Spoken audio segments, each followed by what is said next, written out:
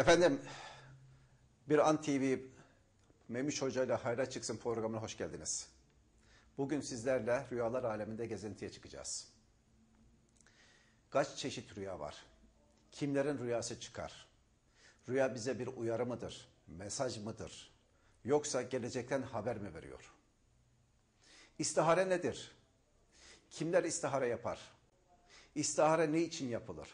Bunları da sizlerle bugün cevabını, bunların cevabını sizlere bugün burada bu programda vereceğim. Bugün bana yardımcı olacak kardeşim Kemal Kadakal.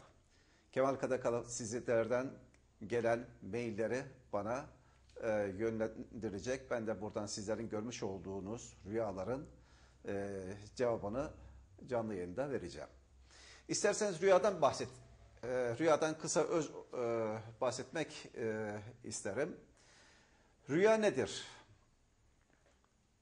Rüya insanların uykuya daldığı andan itibaren ruhun bedenden çıkmasına, gezintiye çıkmasına rüya denir. Rüya kimi zaman insanlara mesaj olarak, bir haber olarak, bir uyarı olarak gözükür. Bazı kimseler der ki efendim ben bu gece şöyle bir rüya gördüm. Mesela yılan gördüm der. Acaba benim yakında düşmanım mı var? Veya bu gece beni, bu gece görmüş olduğum rüyamda beni bir köpek geldi ısırdı. Acaba ben bir düşmana mı sahibim diye kara kara düşünürler. Kimi insan da rüyasına kendisini öyle bir kaptırır ki bütün gün onun cevabını arar. Acaba doğru birisini bulsam da ben bu rüyamın tabir ettirsem, cevabını bulsam der. Evet, sizlerin de etkisinde kaldığınız rüyaların cevabını bugün burada sizlere yorumlayacağım ve vereceğim. Bizim maillerimiz var tabii ki. Mail adresimize e, memishoca.memishoca.com'dan e, rüyalarınızı gönderebilirsiniz. Mail adresimiz bu. Kemal istersen sen e, soruların varsa yavaş yavaş ısınalım. Hocam şimdi yeni gelen Ee, e, mailler var. Evet. E, diyorlar ki hocam Ahmet Bey diyor e, şöyle soruyor. Görmüş olduğumuz rüyaların ne kadarını hatırlarız? Şimdi bazı kimseler vardır ki gördüğü rüyaları aynen tekrar yaşıyormuş gibi hatırlar. Evet hocam. Bazı kimseler de vardır ki rüyayı görür, unutur, hatırlamaz. Bazı kimseler de vardır ki rüyanın yarısını hatırlar, gerisini getiremez. Şimdi bu kişinin beyin yorgunluğuyla alakalı bir durumdur. Ama bazı kimselerde vardır ki hocam benim görmüş olduğum rüyalar aynen zuhur ediyor ve çıkıyor ve günü gününe yaşıyorum derler. Evet doğrudur. Bazı insanların görmüş olduğu rüyalar aynen zuhur eder ve aynen de çıkar. Ama bazı kimselerde vardır ki cam gibi, ekrandaki görüntüler gibi rüya görür ama hiçbirini hatırlamaz. Veya hatırlar acaba aynı gördüğü rüyanın başına geleceğine inanır. Morali o günü bozulur. Sıkıntılar içerisinde olur. Vesveseye kapılır. Şimdi sevgili kardeşlerim, salih insanların bilhassa rüyaları aynen zuhur eder ve çıkar. Temiz insanların, saf olan insanların, hisleri kuvvetli olan insanların kimi zaman aynen rüyası zuhur eder ve çıkar. Ama bu demek değildir ki bu insanların her gördüğü rüyada aynen çıkacak ve efendime söyleyeyim o gün o olayı yaşayacak. Böyle bir şey de mümkün değildir. Doğru da değildir. Yani rüyaya göre yaşamak, rüyaya göre amel etmek bunlar doğru değildir. Çünkü genelde biraz önce belirttiğim gibi başta insanlar yatağa girdiğinde, uykuya daldığında ruh bedeninden çıkar, gezinti içerisinde olur, gezer.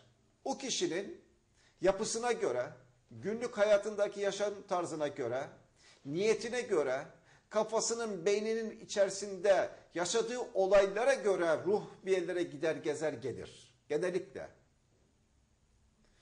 Şuur altı dediğimiz rüya vardır ki bunların hiçbirine itibar etmemek lazım. Şuur altı dediğimiz rüya. Adı üzerinde şuur altı. Bir de şeytanın insanların rüyasında bile yakasını bırakmadığı, şeytanın verdiği vesveseler neticesinde korkular, korkulu, korkunç ve korkulu rüyalar vardır ki bunlar şeytandan olduğu için bunlara da hiç itibar etmemek lazım. Bu korkunç rüyaları gördüğümüz zaman, korkulu rüyaları, vesveseli rüyaları gördüğümüz zaman uyandığımızda, kendimize geldiğimizde ilk yapacağımız iş şudur. Ya Rab benim rüyam, rüyalarımı, görmüş olduğum bu geceki rüyamı hayra çıkar, beni bu şerlerden muhafaza eyle deyip ayetel kürsüyü okuyacağız, yüzümüzü yıkacağız o kadar. Başka hiçbir şey yapmaya gerek yok. Ama bazı kimseler var ki gerçekten bunun namaz kılması, ibadet yapması, halal haram kanun olması şey değil. Bazı insanlar gerçekten kimi zaman görmüş olduğu rüyaların aynısıyla karşılaşabiliyor. Misal veriyorum. Diyor ki arkadaş ben bu akşam bu gece bir rüya gördüm. Rüyamda filancı kişinin işte bir şeyini gördüm. Onun işte özel hayatıyla ilgili olabilir, iş hayatıyla ilgili olabilir, aile hayatıyla ilgili olabilir. Bir şeyini gördüm. Bir bakarsınız ki birkaç saat sonra veya ertesi günü o rüya aynen zuhur eder ve çıkar. Şimdi bu keramet mi? Hayır keramet değil. Cenab-ı Allah eğer isterse bazı kullarına rüyada bazı olacakları gösterebilir, anlatabilir, e, göster, e, gösterebilir, e, bildirebilir. Bunun ilerisinde bir insan eğer derse ki arkadaş ben rüya görüyorum, benim rüyalarım çıkıyor, ben keramet ehliyim derse işte o insan bir sonraki safhada şeytanın esiri olur ve tehlikeli bir boyuta gider bu iş. Buna da kalmamak lazım. Evet dinliyorum. Hocam bir sorumuz daha var. Diyorlar ki e, sadece diyorlar insanlar mı rüya görür? Başka canlılar da rüya görebilir mi? Böyle bir şey var mı diye sormuş. hocam. Pardon neydi? Sadece insanlar mı rüya görür? Diğer canlılar da rüya görebiliyor mu diye bir soru gelmiş hocam. Ben, Mehmet Bey'den. ben hayvanların, mahlukatın da rüya gördüğüne inanıyorum. Onlar da kendi aleminde. Bakınız hayvan, mahlukat, tabiat bunları es geçmemek lazım. Bugün sokakta o ağaçlar, o çimenler hani şimdi yeşermeye başladı ya. Evet. Onlar bile kendi aleminde, kendi dünyasında Allah'a karşı ibadet ederler. Vazifeleri vardır. O vazifelerini yerine getirirler. Hocam. Bugün mahlukat dediğimiz kedi ve köpek ve diğer hayvanlar kendi aleminde Allah'a karşı ibadet halinde olurlar ve onlar da rüya görürler. Tabii ki onların alemindeki rüyalar nasıl oluyor, nasıl gerçekleşiyor? Onların dili yok ki konuşasın. Onları bilemeyiz. Onlar aslında gözleriyle bize çok şeyler anlatıyor da bizim kalplerimizde sorun olduğu için o hayvanların o güzelliklerinden e, bir şeyler hissedemiyoruz, anlayamıyoruz. Hayvanlar da rüyalar görür. Ben benim köpeği bazı zaman kucağıma aldığımda, uyuduğunda böyle değişik hallerini fark ediyorum. O, halinde. biliyorum ki o köpek o anda rüya aleminde, rüya görüyor. Ben onu anlıyorum. Evet. Anladım. Hocam bir sorumuz daha gelmiş. Ee, diyorlar ki sabaha kadar rüya görüyoruz fakat kalktığımızda hiçbir şey hatırlamıyoruz diyor. Neden Eğer hatırlamıyoruz? bir insan eğer bir insan sabaha kadar rüya görüyorsa ve e, bu rüyayı da hatırlamıyorsa onun sadece ve sadece beyin yorgunluğuyla alakalı bir sorunu vardır. Çok çalışıyordur veya uyku problemi vardır. Ondan dolayı hatırlamıyordur. Ama normalde çoğu insan film izlemiş gibi rüyalarını genellikle hatırlar. Bazı kimseler vardır ki Kemal her gece rüya görür. Bazı kişiler vardır ki rüya görür, uyanır, kalkar ihtiyacını görür, suyunu içer ve işte e, lavaboya gider. Tekrar yatar, tekrar rüya görmeye devam eder. Hatta ve hatta daha önceki görmüş olduğu rüyasının devamını görmeye devam eder. Böyle rüyalar vardır. Şimdi bu insanda görmüş olduğu bu rüyaların aynen hatırlar. O beyinle, hafızayla alakalı bir sorundur. O kişinin dinçliğiyle alakalı, yorgunluğuyla alakalı bir sorundur. Allah. Evet. Hocam bir sorumuz daha gelmiş. Ee, gece rüya gördüğümde diyor, e, eşim diyor sabah kalktığımda sen rüyanda konuşuyordun diyor diyor. Rüyada konuşmak mümkün müdür diye bir soru yöneltmişler hocam. Çoğu insan görmüş olduğu rüyanın etkisinde kalır, etkisinde kalır ve e, konuşabilir. Konuşanlara da ben şahit oldum çok defalar. Konuşabilir. E, o kendisini mesela ya işte birisi bana boğazıma sıkıyordu, birisi benim üzerime geliyordu, kavga ediyordum veya işte bir yere işte hırsız giriyordu falan gibi böyle korkunç rüyalar görebilir. İşte bu rüyaya inanmamak, amel etmemek lazım genelde. Bakın rüyada eğer bir insan kavga etmiş ise veya kavga ediyorsa o rüya tam tersine yorumlanır. Nedir o? Tam tersi yeni dostluklar edineceğine, yeni arkadaşlar edineceğine ve aynı zamanda hasret duyduğu kimselere kavuşmaya yorumlanır. Kötü diye gördük ama güzel Evet. anlama geliyor. Aslında kavga, rüyada gözüken kavga tam tersi dostluğa işarettir. Güzel. Evet. Ee, hocam bir şey daha soracağım. Ee, rüyayla alakalı değil ama yine bir izleyicimiz yazmış. Bahar Hanım. Gece diyor tırnak kesmek doğru mu diyor. Bunun bir zararı var mı diyor. Büyüklerimiz bizlere kötü yani tırnak kesmek diyor iyi değildir diyor geceleri. Böyle bir şey doğru mudur hocam? Şimdi- Batıl mıdır? Kemal kardeşim, temizliğin vakti saati olmaz. Ne zaman ihtiyaç olursa o temizlik yapılır. Bu vücut temizliği de olabilir, evin temizliği de olabilir, iş yerinde temizliği olabilir. Zaman zaman ben insanlardan duyuyorum ki efendim gece evi temizlemek, süpürmek doğru değil. E peki kardeşim yere halıya bir şey düş, döküldü. Veya bir şey oldu. Yemek döküldü filan. Sen şimdi onu sabaha bek temizlemek için sabah vaktini mi bekleyeceksin? Yok böyle bir şey mümkün değil tabii ki hocam. Veya adam diyorlar ki bazı kimseler efendim geceleyin yıkanmak doğru değil, caiz değil. Niye? Ömrü kısaltırmış. Hadi be oradan. Hadi be oradan. Öyle bir şey olur mu? Bunlar batıl itikattır, batıl inançtır. Şimdi sen misal olarak bir insan geceleyin cunup oldu. Olur ya. Hanımıyla İnsan. izdivaç halinde. İlişkiye girdi. Veya rüyasında şeytan onu kandırdı, cunup oldu. Şimdi bu adam veya kadın sabah mı bekleyecek? Yıkanmak için, abdest almak için, temizlik için. Doğru söylüyorsun hocam. Peki Allah muhafaza bir insan hak baki olduğunda cunup giderse ne olacak? Kesinlikle bunlar batıl itikattır. Bunlar batıl bir inançtır. Bunlar nereden geldiyse bizim içimize yıllardır, yüzyıllardır bunlar bizim içimizde bu inançlar var ama yanlış. Bir insan temizlik yapacaksa bunu gece de yapabilir, gündüz de yapabilir, tırnağını da kesebilir, koltuk altında temizleyebilir, etek tıraşında olabilir, cunup olduğunda abdestinde alabilir, yere efendime söyleyeyim bir şey döktüğünde evdeki makineyi çalıştırıp süpürgeyle o temiz, temizliği de yapabilir. Hiçbir sakıncası dilen yoktur. Yapmamak zaten tehlikeli. Yapmamak zaten sıkıntılıdır. Yani batıl hocam yani böyle bir şey büyüklerimizin söylediği batıl. Evet. diyorsunuz. Ee, hocam benim de merak ettiğim bir konu var. Erkeklerle bayanlar aynı rüyaları mı görüyor yoksa onlarınki daha mı farklı oluyor? İnsanlar aynı rüyayı görmez.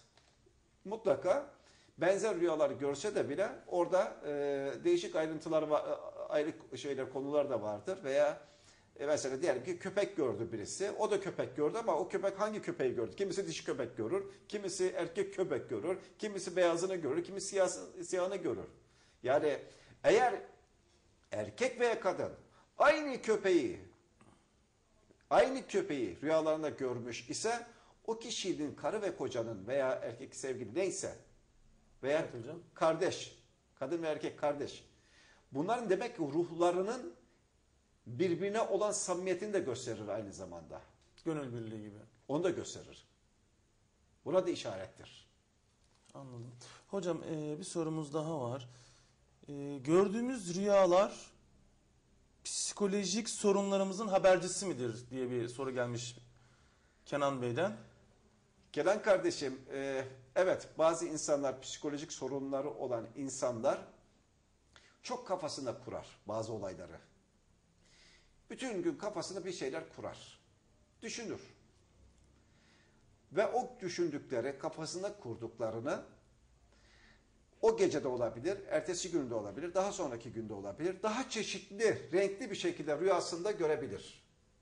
Hatta ve hatta şeytan onun o durumunu bildiğinden dolayı kendi şeytan kendi istikametinde o kişiyi rüya sahibini yönlendirmek için şerre yönlendirmek için çok farklı şeyler gösterebilir. Mesela misal veriyorum. Efendim bu kadın bana kötülük yapacak. Ben rüyamda gördüm. Beni işte bilmem ne yapıyordu. Veya bu adam beni dövüyordu. Bana şey yapacak. Ben rüyamda gördüm. Diye efendime söyleyeyim e, şey e, böyle bir e, sıkıntı içerisinde olabilir. Rüya gördüğünü söyleyebilir. Allah muhafaza o rüyanın etkisiyle birilerine sıkıntı da verebilir. Birilerine e, düşmanlık da besleyebilir. İşte dediğim şeytani rüyalardan bir tanesi de bu tarz rüyalardır. Bunların hiçbirine itibar etmemek lazım. Bakınız şeytan insanları rüyasında, uykusunda bile rahat bırakmaz.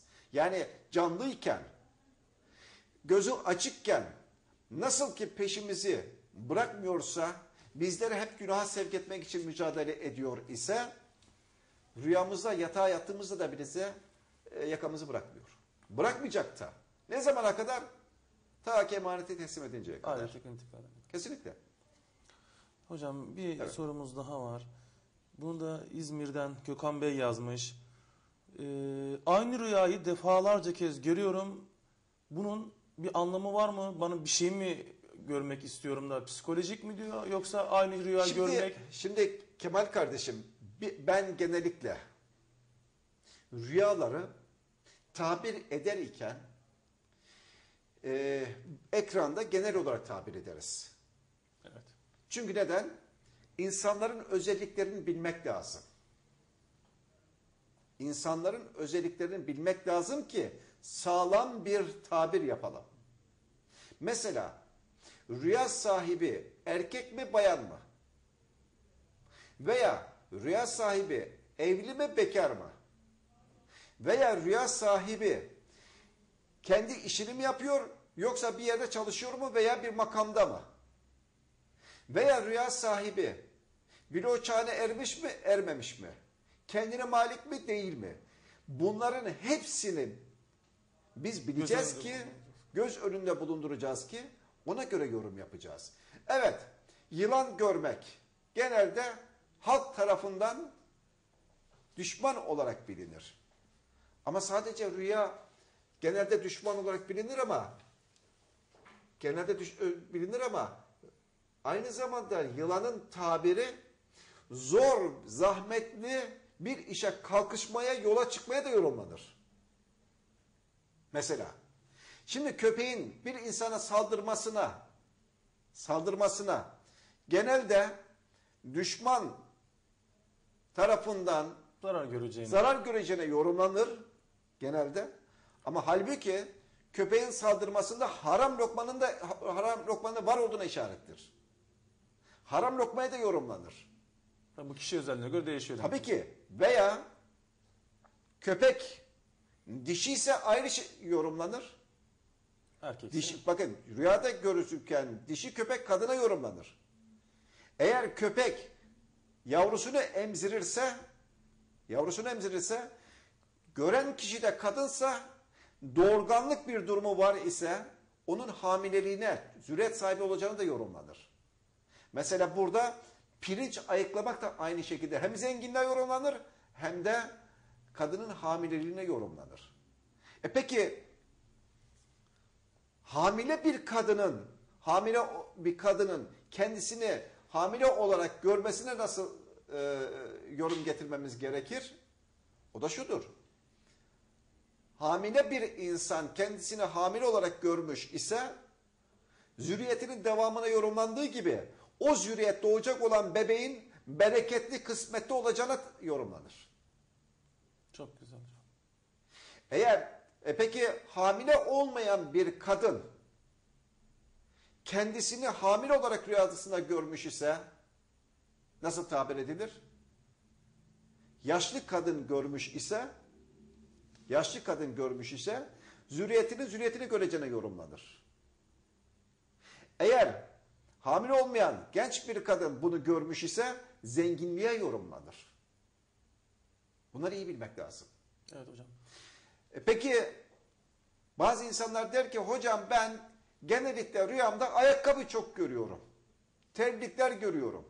Şimdi ayakkabının anlamı farklıdır. Terliğin anlamı. Terliğin anlamı farklıdır. Ayakkabı genellikle rüyada sıkıntıya işarettir. Sıkıntılı bir işe adım atmaya yorumlanır. Veya sıkıntılı ortamda veya sıkıntılı insanlarla karşılaşacağına işarettir.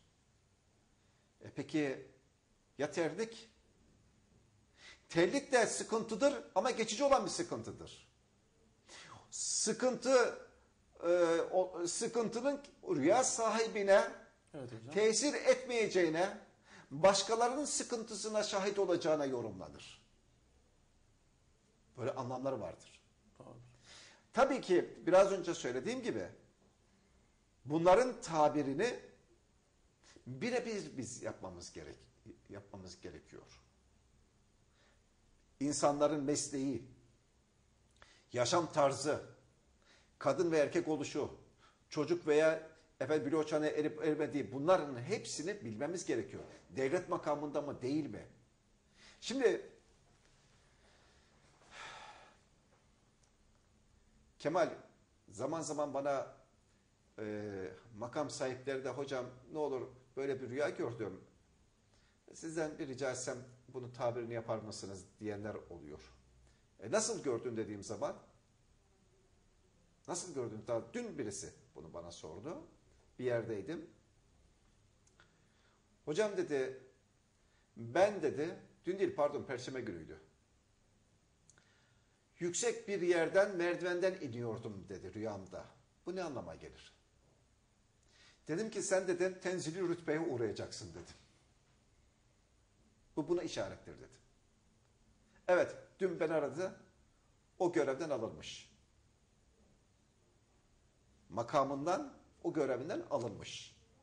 Şimdi evet memur için merdivenden inmek, yüksek bir yerden atlamak var olduğu, işgal etmiş olduğu makamdan ayrılacağına yorumlanır.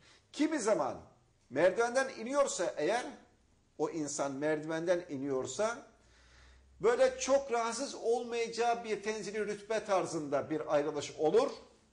Ama yukarıdan tepeden atlar ise, bir insan yere çakılmış ise, Evet kendisi için hayırlı olmayacak bir habere ve ani görev değişikliğine yorumlanır. Pasif bir göreve yorumlanır. Yani olumsuz anlamda. Ama bu memur için. Peki rütbeli bir iş hayatında olan bir kişi için veya diyelim ki bir şirketin CEO'su Belli bir veya patronun gelmiş. sağ kolu onun için de bu geçerlidir.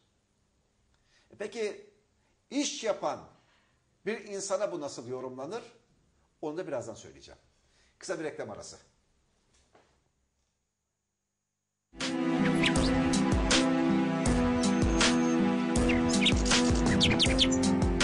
Pratik Şal.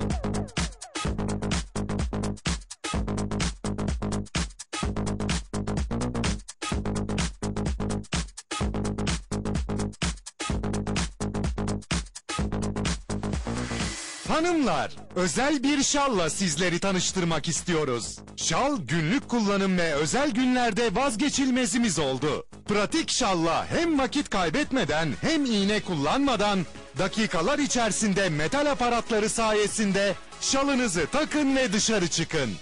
Şalların üzerindeki metal aparatları tıklayın kapansın. Gün içerisinde açılmayan, bozulmayan şala sahip olun. Pratik şallarımızı 6 renk seçeneğiyle size sunuyoruz. Eflatun, fuşya, kırmızı, lacivert, koyu sarı, haki yeşil. İstediğiniz renkteki şala sahip olmak için hemen arayın. Dilerseniz şimdi de pratik şalı nasıl takacaksınız onun detayına geçelim. Gördüğünüz gibi şalın ön kısmını sabitlemek için iki adet metal aparatı kapatıyoruz. Sonra yüz çevresi için ayarlanmış iki adet aparatın önce birini sonra diğerini kapatın. Sonra sağ ve sol kısımları kapatın. İşte şalınız sabitlendi. Hepsi bu kadar. Şalınız artık rüzgardan ya da gün içerisinde fazla çalışmaktan dolayı asla bozulmaz. Kaliteli şallarımızı size 6 renk seçeneğiyle sunuyoruz. 2 adet pratik şal alana 3. pratik şal hediye. Sadece 49 lira 90 kuruş.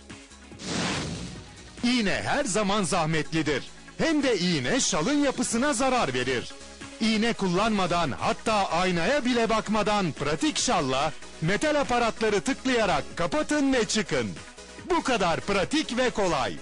Saatlerce ayna karşısında kalmadan, iğne kullanmadan pratik şalla özel bir şala sahip olacaksınız.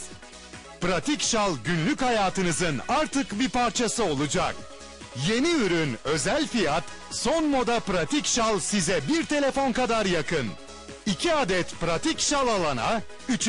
pratik şal hediye. Sadece 49 lira 90 kuruş. Eşinize bir sürpriz yapın. Siz rengi beğenin, eşinize hediye edin. Bu şallar eşinize özel bir hediye olacak. Ya da bayan arkadaşlarınıza, kız kardeşinize, annenize bu özel pratik şalları hediye edin. Onları şaşırtın, sevindirin. Bayanlar, pratik şalla yolda, evde, iş yerinde bozulmaması ve iğne takmadan kullanılabilmesi yönüyle mutlaka bir adet şal siparişi verin. Biz eminiz. Bir adet sipariş verdiğiniz takdirde kullanımdaki rahatlığını ve kalitesini gördüğünüzde mutlaka tüm renkleri sipariş vereceksiniz. Şimdi de şallarımızın kumaşından bahsedelim. Şallarımız özellikle şık ve dökümlü fantezi bir kumaş olan poliviskon kumaştan imal edilmiş. Poliviskon kumaş, duruştaki dökümü sağlar ve günlük kullanımda yumuşak dokusuyla sizi rahatsız etmez. Pratik şal, tak ve çık. Hemen arayın. 2 adet pratik şal alana 3. pratik şal hediye. Sadece 49 lira 90 kuruş. Pratik şal. Pratik şalla hem vakit kaybetmeden hem iğne kullanmadan dakikalar içerisinde metal aparatları sayesinde şalınızı takın ve dışarı çıkın. Şalların üzerindeki metal aparatları tıklayın kapansın. Gün içerisinde açılmayan, bozulmayan şala sahip olun. Pratik şallarımızı 6 renk seçeneğiyle size sunuyoruz. Gördüğünüz gibi şalın ön kısmını sabitlemek için 2 adet metal aparatı kapatıyoruz. Sonra yüz çevresi için ayarlanmış 2 adet aparatın önce birini, sonra diğerini kapatın. Sonra sağ ve sol kısımları kapatın. İşte şalınız sabitlendi. Hepsi bu kadar. Gün içerisinde fazla çalışmaktan dolayı asla bozulmaz. Kaliteli şallarımızı size 6 renk seçeneğiyle sunuyoruz. 2 adet pratik şal alana 3. pratik şal hediye. Sadece 49 lira 90 kuruş. İğne her zaman zahmetlidir. Hem de iğne şalın yapısına zarar verir. İğne kullanmadan hatta aynaya bile bakmadan pratik şalla metal aparatları tıklayarak kapatın ve çıkın. Bu kadar pratik ve kolay. Saatlerce ayna karşısında kalmadan, iğne kullanmadan pratik şalla özel bir şala sahip olacaksınız. Renk seçeneklerimizi bir kez daha hatırlatalım. Birinci rengimiz eflatun. İkinci rengimiz fuşya. Üçüncü rengimiz kırmızı. Dördüncü rengimiz lacivert. Beşinci rengimiz koyu sarı. Altıncı rengimiz haki yeşil. Pratik şal günlük hayatınızın artık bir parçası olacak. Yeni ürün özel fiyat son moda pratik şal size bir telefon kadar yakın. 2 adet pratik şal alana 3. pratik şal hediye. Sadece 49 lira 90 kuruş. Eşinize bir sürpriz yapın. Siz rengi beğenin, eşinize hediye edin.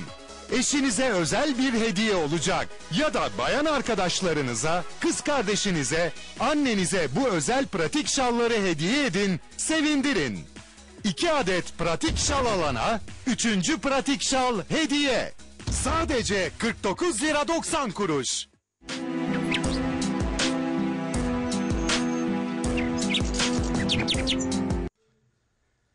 Evet.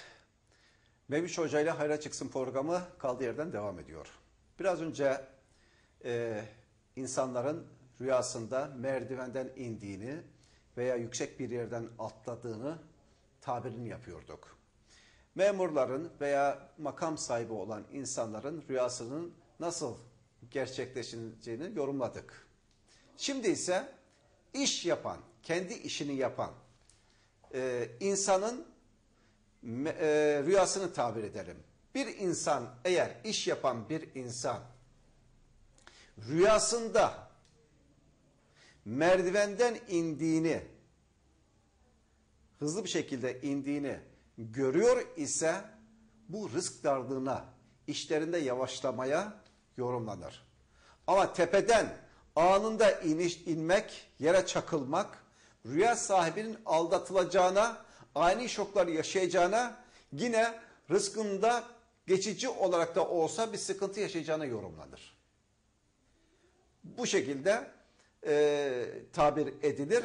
Ama dediğim gibi bu rüya sahibi, bu tarz rüyaları gören insanların medeni durumu, e, efendime söyleyeyim e, yaşı, erkek oluşu, dişi e, bayan oluşu göz önünde bulunaraktan aslında tabir edilir. Biz genel tabir e, yapmış olduk. Evet Kemal. Hocam e, bir şey soracağım.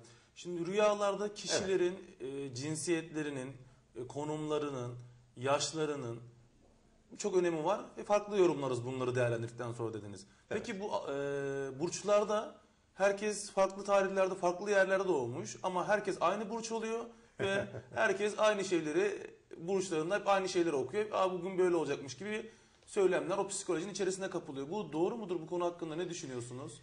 Şimdi Kemal kardeşim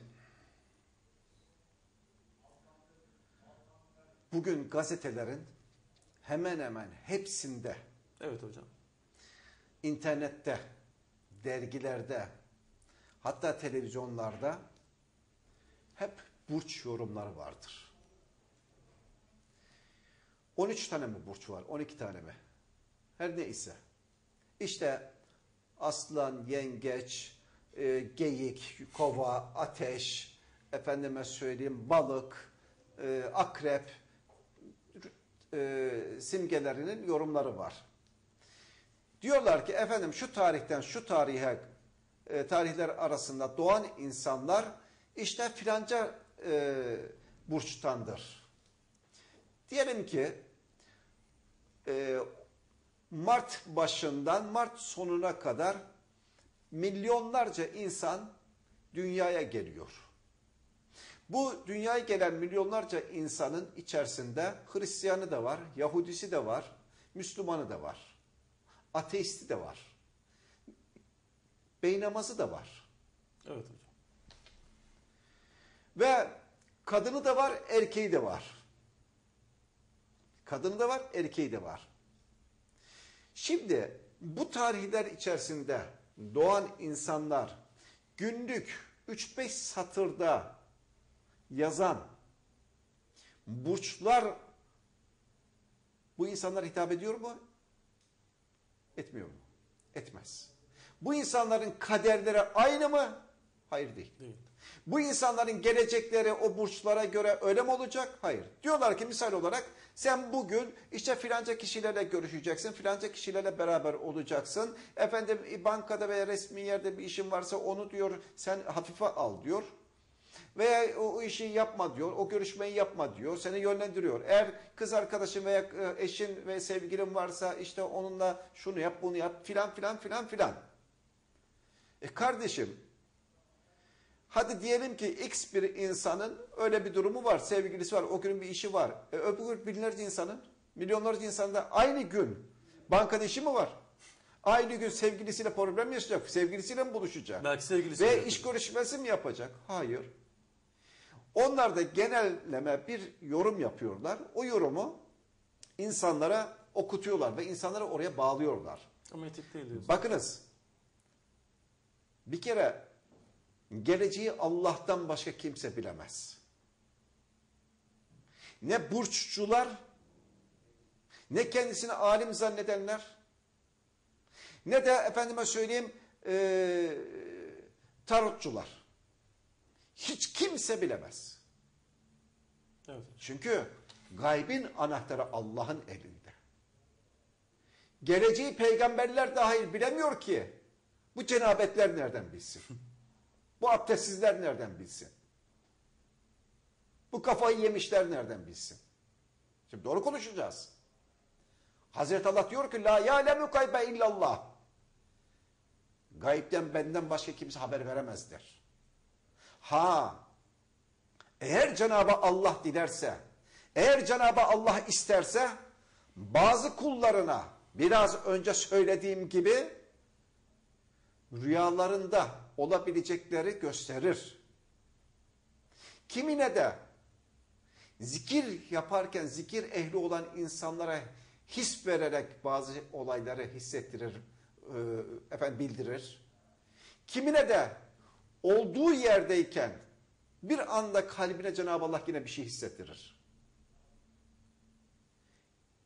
Şimdi eğer dilerse Allah bu olur.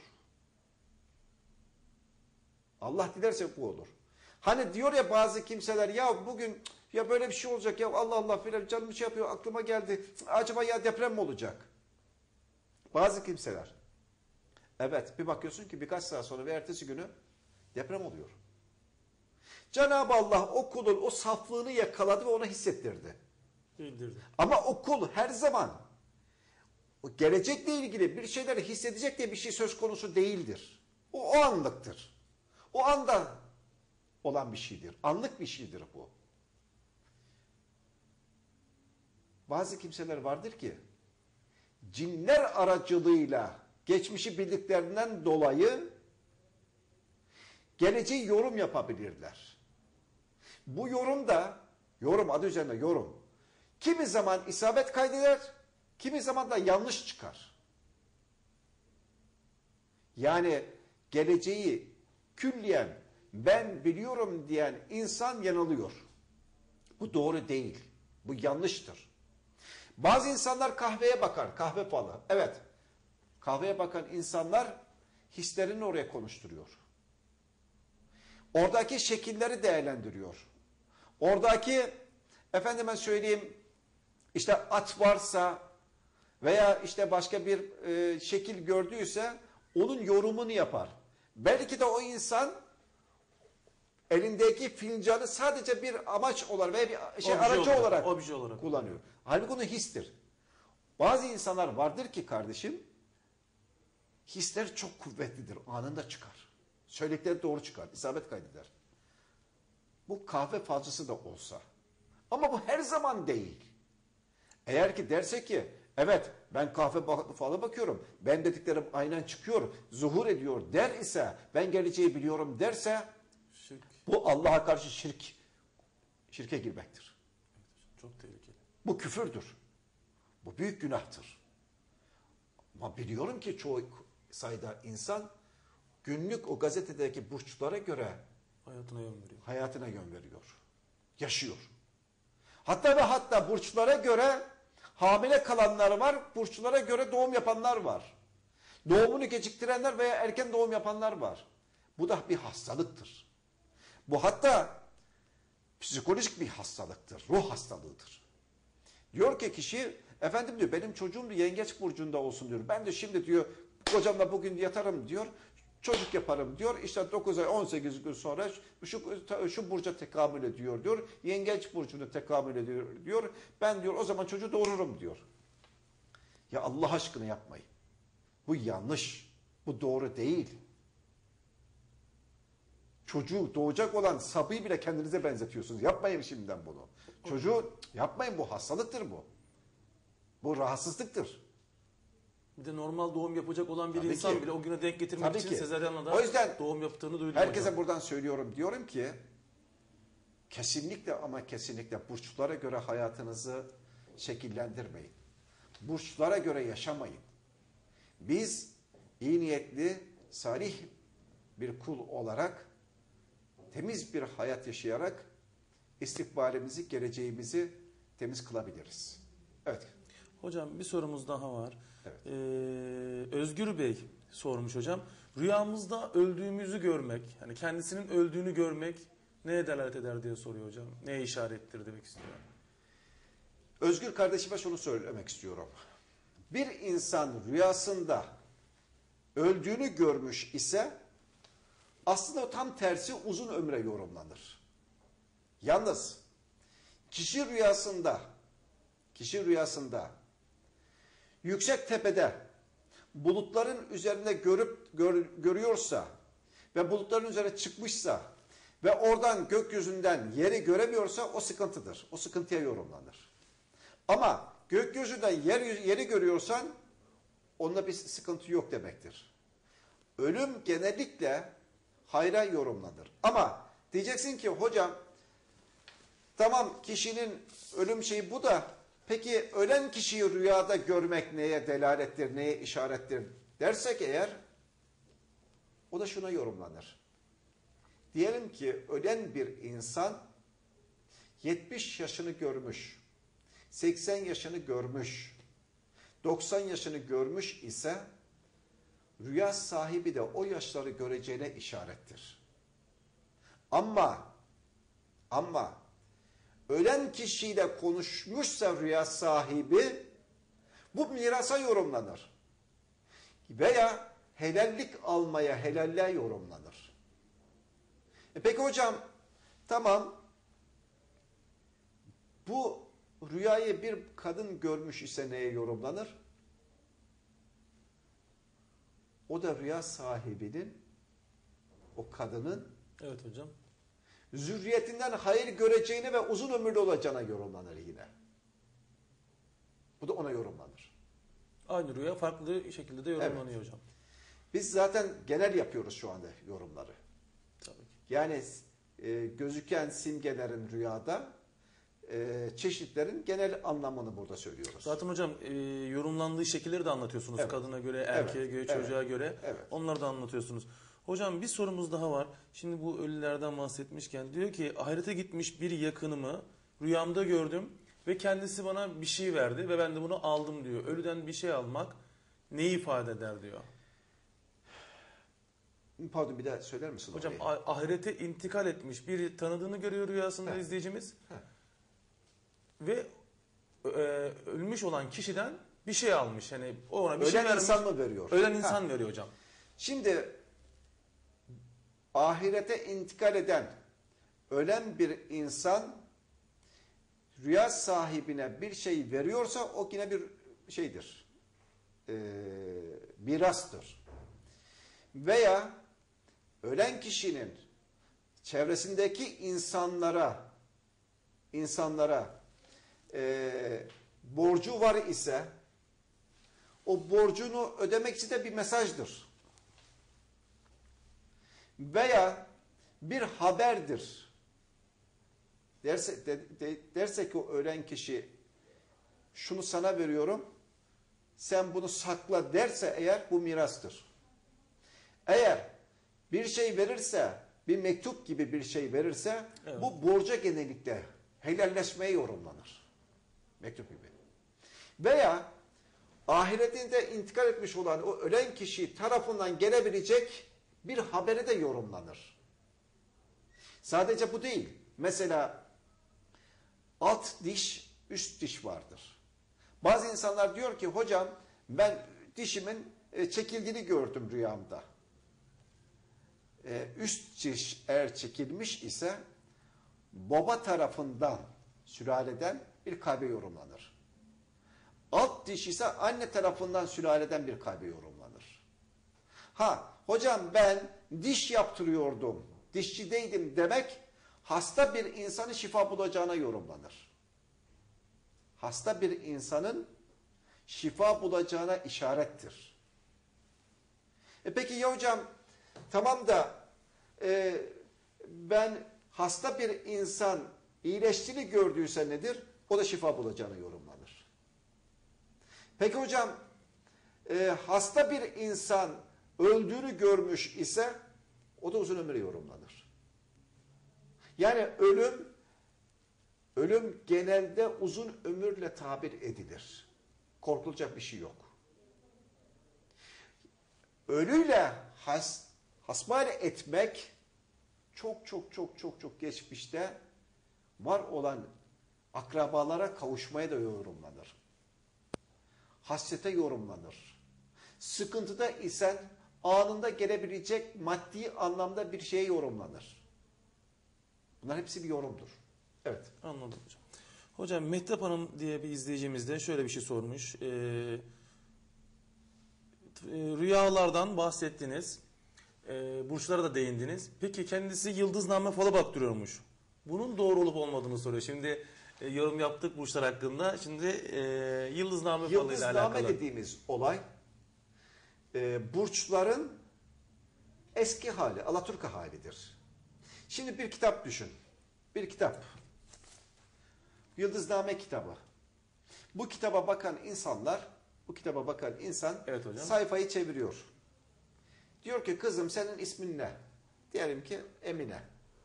Kaç yaşındasın? 20 yaşındasın. Ananın ismi nedir? İşte o da işte Fatma. Açıyor sayfayı, tık tık tık tık, tık sayfa açıyor. Bakıyor diyor ki evet kızım diyor senin diyor şu kadar yaşayacağım burada yazıyor. Sen şu, şu kişiyle evleneceksin. Sen şu okulu okuyacaksın. Sen efendime söyleyeyim şu kazayı geçireceksin. Sen efendime söyleyeyim işte e, şunu şunu şunu şunu şunu şunu şunu yaşayacaksın diyor bir sayfada. Peki Fatma'dan doğma Emine olan insanlar hep aynı şeyi mi yaşayacak? Soruyorum. Hayır. Allah küllü iradesinde o emineleri yaratırken kaderlerini hep aynı mı yazdı? Aynı kişiyle mi evlenecekler? Aynı isimdeki insanlarla mı evlenecek? Aynı meslekteki insanlarla mı evlenecek? Aynı mesleği mi yapacak? Aynı sayıda çocuğa mı sahip olacak? Aynı kazayı mı geçirecek? Tabii ki hayır. Yıldızname dediğimiz olay da bir nevi burçlar gibi bir fal kitabıdır. Hiç itibar etmemek gerekir. Biraz önce ne dedim ben size? Hiçbir kimse hiçbir şekilde gelecekten haber veremez. Geleceği bilmek mümkün değildir. Ama eğer isterse Hazreti Allah kimisine rüyada, kimisinde zikirle, kimisine o halde, saf halinde bir şeyleri, olacak olan bazı şeyleri hissettirebilir. Bu olabilir. Bunun ötesinde Yıldızname kitabından, tarottan insanların geleceğini bilmek mümkün değildir. O tarotların ben hatta birkaç kez yurt dışında da burada da bazı insanlara böyle bir denedim. Ne yapıyor, ne diyorlar diye. Böyle kumar kağıdı bildiğimiz kumar kağıdı gibi böyle böyle böyle böyle böyle bir şeyler bir şeyler bir şeyler bir şeyler yapıyorlar. E çek bakayım. E çek diyorum şimdi. Aa diyor sana diyor bir aşk çıktı. Ama diyor bu karı seni aldatacak diyor. Ulan adamın karısı varsa da milletin başını belaya sokacak. Değil mi hocam? Bak, yanlış bak, yanlış fikrine bak. Fitneliğe bak. Bu iblisliktir. Veya diyor ki ha diyor sen diyor böyle misin sen bak diyor burada diyor e- efendim misin ticaretle veya bilmem neyle işin var diyor bu iş bo- bozulacak diyor. Sen de ortak iş mi yapıyorsun diyor. Ha orada da Yine fitne. sen de kazık yiyeceksin diyor. Bunlar aldatmadır, fitnedir. Kesinlikle uzak kalmakta hayır vardır. Yani Aldanmamak lazım. Yıldızname de biraz önce söylediğim gibi e, bugünkü tarotun burçların alaturkasıdır. eski dönemde uygulanan sistemi şimdi Evet, modernize olmuş modern hali. şekliyle. Modernize olmuş şekilde. Şekliyle. Bunu yaparlar. Kimse geleceği bilemez yavrum. Kimse geleceği bilemez. insanlarımız Kimse bilemez. Biraz önce söyledim ya Allah geleceği peygamberlerine bildirmedi. Size ne oluyor lan? Mi hocam? Sen kimsin lan? Baldırı çıplak. Al bakıyorsun gerçekten haber veriyorsun. Yani bir kağıt parçasına Sen kimsin ya? yorum yapmak. Matbaada bas bas bas bas bas bas bas kağıdı şekil şemal yap. Al ver dayan millete. Geleceğinizi okuyorum. Sen canını okuyacak zabaniler ahirette. Evet hocam. Hatta hocam şimdi Değil mi? şey, e, fallarla Ya, ilgili şey ya, internet ya, siteleri bile yapmışlar. Yani siz He. kahve içiyorsunuz, fotoğrafını He. çekip gönderiyorsunuz. Onu yorumlayıp size mesaj olarak geri de gönderiyorlar. Böyle Yani bir işte teknoloji var şu anda. internete gidiyorsun. İnternete Fotoğraf görüntüsü fotoğraf gönderiyorsun. Evet, onlar size gönderdikçe de gönderdikçe oradan senin paran gidiyor telefondan. Değil mi? Bedava değil herhalde bu hizmet. Onun da stratejisi var hocam. E, tabii. İlk başta ücretsiz sonra paralı Ha, yapıyorlar. ondan sonra gel İnsanlara bakayım. Gel diyor. Evet gel hocam. diyor. E, aptal çok. E, ne diyeyim? Hocam eee, bir izleyicimiz rüyasında boğulduğunu görüyormuş ama bunu sık hani bir haftalık aralarla görüyorum diye yazmış. Neye tabi olur diye soruyor hocam. E, Eğer bir hastalığı veya bir sıkıntısı varsa doktora gitmesine yarar var. Devam Sık sık boğuluyorsa bu ona işarettir. E, bir kontrole gitse, gitmesine yarar var. Hocam Merve Hanım bir mesaj mail atmış hocam. Çocuk sahibi olmak. Rüyamda diyor çocuk sahibi olduğumu görüyorum diyor. Oysa ki diyor bekarım diyor. Neye işaret eder diye onu da belirtmiş hocam. hayırlı bir insanla evleneceğine, hayırlı kimselerle izdivaç yapacağına ve hayırlı zürriyetlere sahip olacağına ve erkek çocuğuna yorumlanır. Evlenmeden görüyor çünkü. Evlenmeden görüyor. Evet hocam. Evet. Eğer bir kadın rüyasında erkek çocuğu görmüş ise, erkek çocuğu doğurduğunu görmüş ise zürriyetin devamına ze- zenginliğe yorumlanır. Kız çocuğu doğurduğunu görmüş ise yine zenginlik ama müjdeli haberlere yorumlanır. Çocuk adı üzerine hep hayra yorumlanır. Zaten hayrı değil mi bunlar? Hayır hocam. Evimizin neşesi değil mi? Çok doğru. Müjde değil mi? Evet hocam. Allah evlatlarımızı şerlerden, fenalıklardan korusun. Amin. Allah evlatlarımıza hele hele yarın imtihana girecekler. Bana dediler ki hocam evlatlarımız yarın imtihana giriyor. Dua eder misin? İnanın kalben söylüyorum. Sabahleyin evimden çıkarken tesbihatımı yaptım, zikrim yaptım. Arabada hep dua ettim. Ya Rab yarın evlatlarımız imtihana girecek olan evlatlarımıza zihin açıklığı ver. Onları insi ve cinsi şeylerden muhafaza kıl Ya Rab. Amin. Onları devletine, milletine, anasına, babasına hayırlı eyle Ya Rab. Amin. Allah'ım onları kazadan, beladan, musibetlerden koru Ya Rab diye hep dua ettim. Amin. Hep dua ettim. Evlat yetiştirmek çok önemlidir. Eğer evlatlarımızdan hayır görecek isek, eğer evlatlarımızın zürriyetini görmek istiyorsak, devletine ve milletine, dinine hayırlı evlatlar nesile yetiştirmek istiyorsak, ana babalar olarak bizlere çok ama çok iş düşüyor. Ona göre önce kendimizi düzelteceğiz. Kendi yanlışlıklarımızı düzelteceğiz. Ondan sonra evlatlarımıza örnek olacağız. Ama olamıyoruz ne yazık ki. Ben çok biliyorum. Çoğu anneleri ve babaları hep azarlamışımdır çevremde. Çocuk okuldan geliyor, direkt internet şey şey yapıyor. iPad elinde, işte neyse o, o bilgisayar şeyler elinde, sağa solda. Oğlum işte ben sana hamburger söyledim veya pizza söyledim, geliyor. Bakıyorum şok geçiriyorum. Bu çocuk okuldan eve geliyor. Anne şefkatini bile görmüyor. Evde dadı var. Hizmetçi var. Çok yazık. Çok yazık. Bu ana ve babalar bu davranışlarının cezasını ileriki zamanlarda kat kat kat çekecektir. Evet hocam. Sen bir anne ve baba olarak nasıl olur da kendin evladına şefkat, merhamet göstermeyip de bir başka kadının ve erkeğin şefkatine muhtaç kılıyorsun, terk ediyorsun. Sonra o evlattan sen hayır göreceksin öyle mi?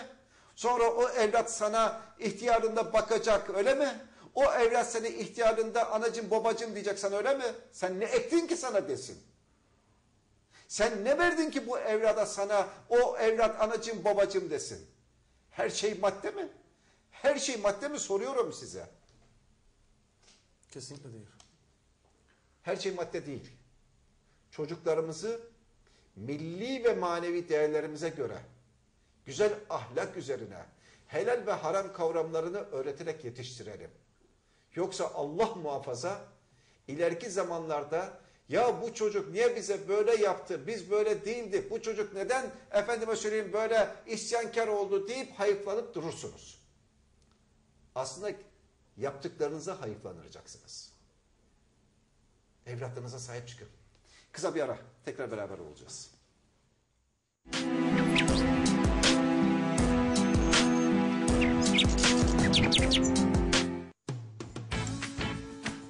Red Globe cinsi üzüm fidanlarımızla karşınızdayız. Şimdi üzüm dikmenin tam zamanı. Kendi üzümünüzü bahçenizde, balkonunuzda kendiniz yetiştirebilirsiniz. Red Globe üzümü sofralık bir çeşittir ve taneleri çok iridir. Bir salkımı ortalama 1,5 kilo gelmektedir. Son yıllarda ülkemizde üretimi hızla artmaktadır ve büyük oranda Avrupa'ya ihraç edilmektedir. Red Globe ülkemizin iklim koşullarına en uygun üzüm çeşitlerinden biridir. Yaklaşık 1600 rakıma kadar Ege'den Akdeniz'e, İç Anadolu'dan Marmara bölgesine kadar her iklimde yetişir. Şimdi üzüm dikmenin tam zamanı. Fidanlarımız aşılıdır, ayrıca aşı gerektirmez. Köklendirilmiştir ve dikilmeye hazırdır. Dikimi bakımı kolay, ilk seneden itibaren üzüm veren, her evin bahçesinde hatta balkonunda yetiştirebileceğiniz özel bir çeşittir. Doğru duydunuz. Evinizin bahçesinde hatta balkonunuzda bile yetiştirebilirsiniz. Evlerinizin, iş yerlerinizin, villalarınızın bahçelerini şenlendirin. Şimdi üzüm dikmenin tam zamanı. Fidanlarımız toprakla buluştuktan hemen sonra hızla yeşermeye ve büyümeye başlar. Diktiğiniz fidanın her gün daha fazla yeşerip büyüdüğünü siz de görecek ve bunun keyfini yaşayacaksınız. Fidanlarımız ilk seneden itibaren üzüm vermeye başlar. Dikmesi bakması kolaydır. Özellikle şeker hastalarına tavsiye edilen Red Globe üzümü genellikle Avrupa ülkelerine ihraç edilmektedir. Ülkemizde pazarlarda, manavlarda fazlaca bulunmaz. Siz de kendi üzümünüzü bahçenizde, balkonunuzda kendiniz yetiştirebilirsiniz. Şehirlerde apartmanların arasında sıkışıp kalan çocuklarımızın doğayla barışması için siz de çocuğunuzla birlikte fidan dikmenin keyfini yaşayabilir, fidanın bakımını çocuğunuza bırakıp sorumluluk duygusunu geliştirmesinde ona yardımcı olabilirsiniz. Şimdi üzüm dikmenin tam zamanı. Kendi üzümünüzü bahçenizde, balkonunuzda kendiniz yetiştirin. Mahsulünüzü ailenizle ve sevdiklerinizle gururla paylaşın. Aşılı, tüplü, garantili. Dikmesi, bakması kolay. İlk seneden itibaren üzüm veren fidanlarımıza sahip olmak için hemen ekranda gördüğünüz telefon numarasını arayıp sipariş verebilirsiniz. Durmayın, hemen arayın. Şimdi üzüm fidanı dikmenin tam zamanı.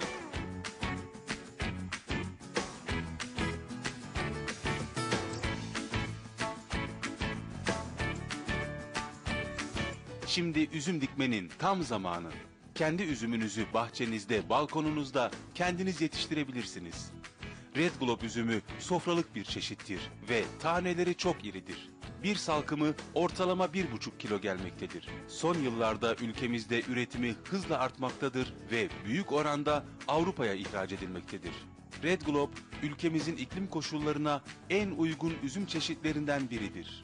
Yaklaşık 1600 rakıma kadar Ege'den Akdeniz'e, İç Anadolu'dan Marmara bölgesine kadar her iklimde yetişir.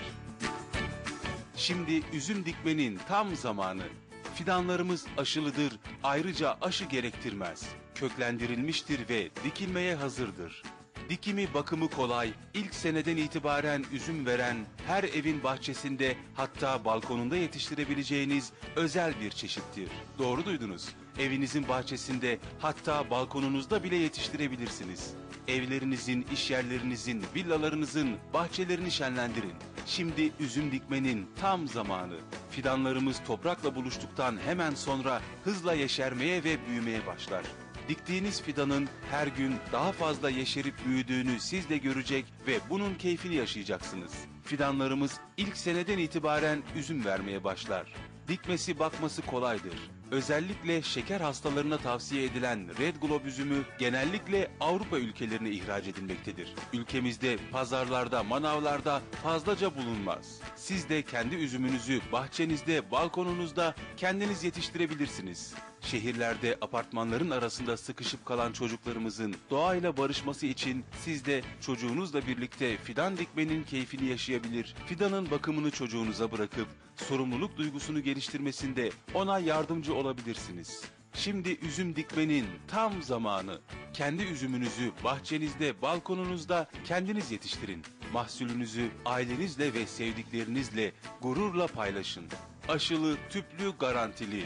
Dikmesi, bakması kolay. İlk seneden itibaren üzüm veren fidanlarımıza sahip olmak için hemen ekranda gördüğünüz telefon numarasını arayıp sipariş verebilirsiniz. Durmayın, hemen arayın.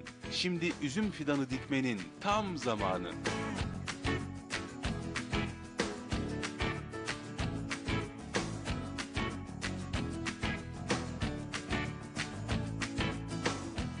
Red Globe, ülkemizin iklim koşullarına en uygun üzüm çeşitlerinden biridir.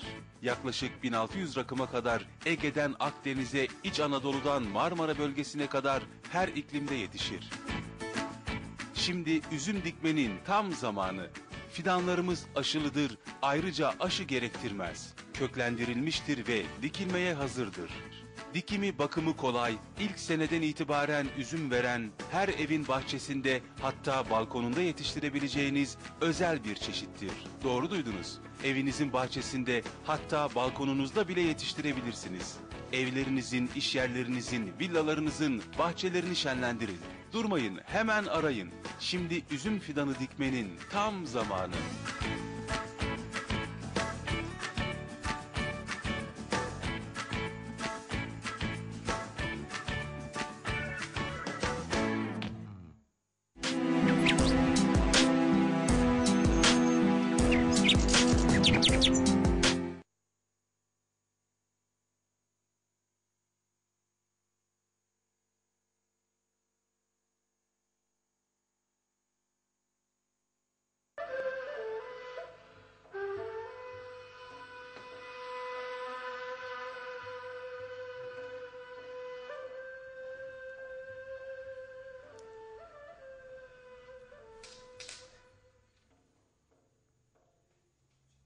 Evet tekrar Memiş Hoca ile Hayra Çıksın programı ile beraber, programında beraberiz ve programımız devam ediyor. Evet dinliyorum seni. Hocam rüyayla e, ilgili değil ama e, halk dilinde kara kedi gördüm. Üç kere saçımı çekeyim. Bugünüm uğursuz geçecek. Bugünüm kötü geçecek diye bir şey konuşuluyor. Bunun aslı nedir? Böyle bir şey mümkün müdür? Yorumunuzu alabilir miyiz? kara kedi görünce Yani siyah bir kedi uğursuz olduğunu inanılıyor ve bunun içinde üç kere saçı çekmeler gibi bir şeyler var. Kemal evladım bizim toplumda ne yazık ki batıl itikat çok haddinden fazla. Evet hocam. Sadece kara kedi filan değil.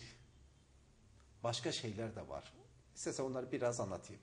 Anlatılır. Mailler çok mu? Biraz Hocam, yapalım. Var var. Biraz. Maillerimiz var. Detaylı anlatırsak Şimdi- daha iyi olur. Kedi Allah'ın yarattığı bir varlık. Cenab-ı Allah her şeyi, gözle görülen her şeyi çıktığımız zaman dışarı gördüğümüz ne varsa her şeyi severek yaratmıştır. Her şeyi. Kediyi de, köpeği de ve diğer mahlukatların hepsini de severek yaratmıştır. Aleyhisselatü vesselam Efendimizin bile kediye şefkati vardı. Ve sadece kediye değil, bütün mahlukata şefkati vardı. Ama kedi de severdi. Kedi yanına geldiğinde onu severdi, sıvazlardı. Ama eğer kim diyorsa ben siyah kedi gördüm bu bana uğursuzdur diyorsa o kişinin kendisi uğursuzdur. Onun bir kendisiyle sorunu vardır. Çünkü bu zihniyette olan insanların ben zaman zaman kedileri nasıl katlettiğini, köpekleri nasıl katlettiğini medyada görmekteyim. Çok yazık hocam. Yani bazı kimselerde ben biliyorum ki kediyi gördüğü zaman yol değiştiriyor. Aman bu bana uğursuzluk getirecek. Böyle bir şey yok. Böyle bir şey yok. Böyle bir şey inanmasınlar. Kedi de, köpek de ve diğer mahlukatlarda hepsi bizim şefkatimize muhtaçtır. Bunlarla ilgilenmek, bunlara şefkat göstermek, bunlara bakmak mecburiyetindeyiz. Daha da ilerisine giderim bunlarla ilgilenmek, bu hayvanlara bakmak da nafile ibadettir. Şimdi kedi dedin, bazı otellerde 13 yazmaz, 13. kat diye bir şey olmaz. Var, evet 13-15 kat var, katlatlama yok ama 13 diye bir şey yazmaz. Niye yazmaz hocam? Bu da Yahudi itikatıdır. Bu da Yahudilerden çıkmış batıl bir inançtır. Efendim biz 13. katta kalırsak uğursuzluk yaşarız. İnancı var. Ya bırakın Allah aşkına cebinde 13 dolar veya 13 TL ve 13 lira tutuyorsun uğursuzluk yapmıyor da 13 rakamda otelde kaldığın zaman mı sıkıntı sorun oluyor? Veya 13 yaşına geldiğinde sorun sıkıntı olmuyor da 13. katta otelde yatıp kalktığında mı sıkıntı oluyor, uğursuzluk oluyor?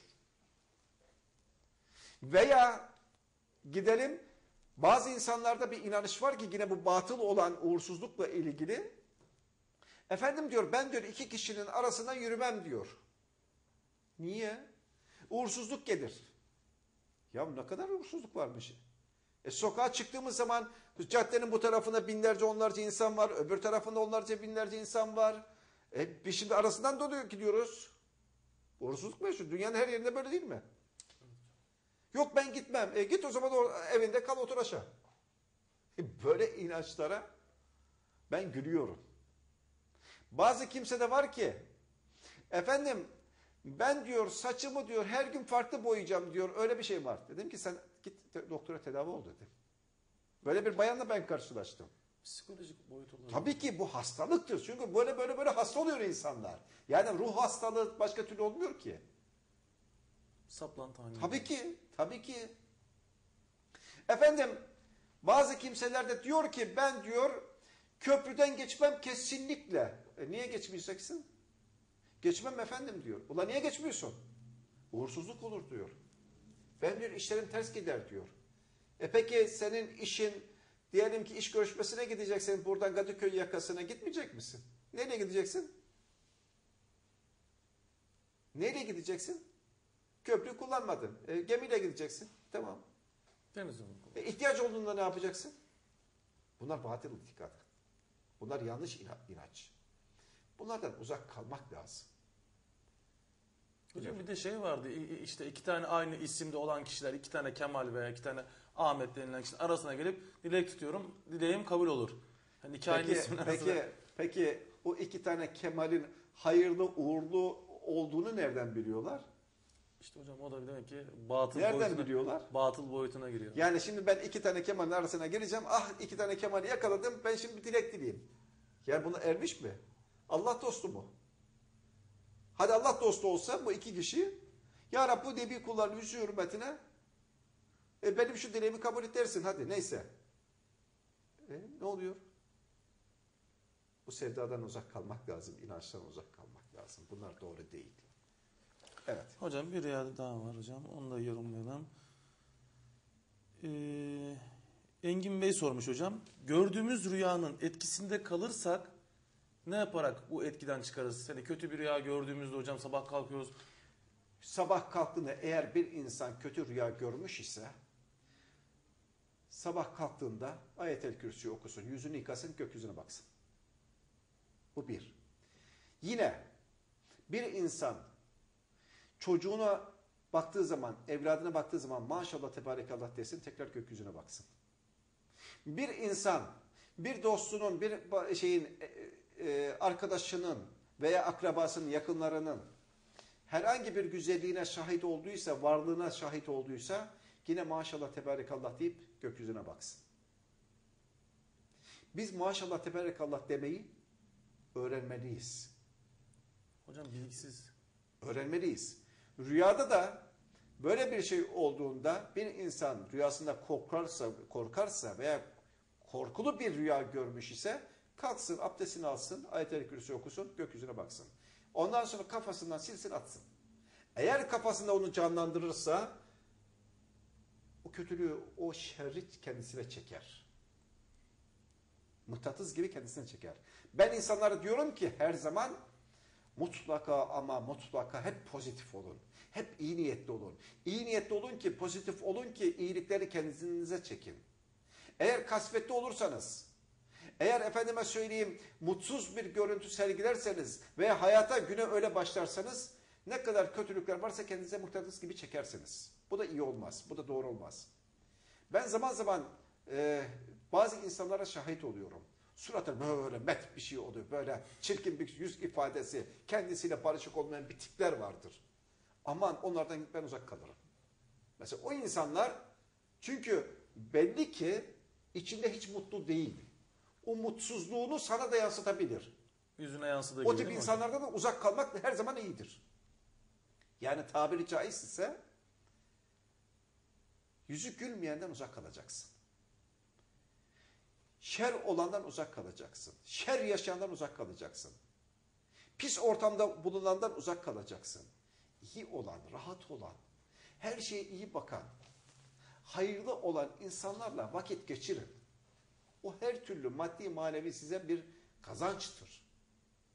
Huzur ve saadettir. Evet. Evet.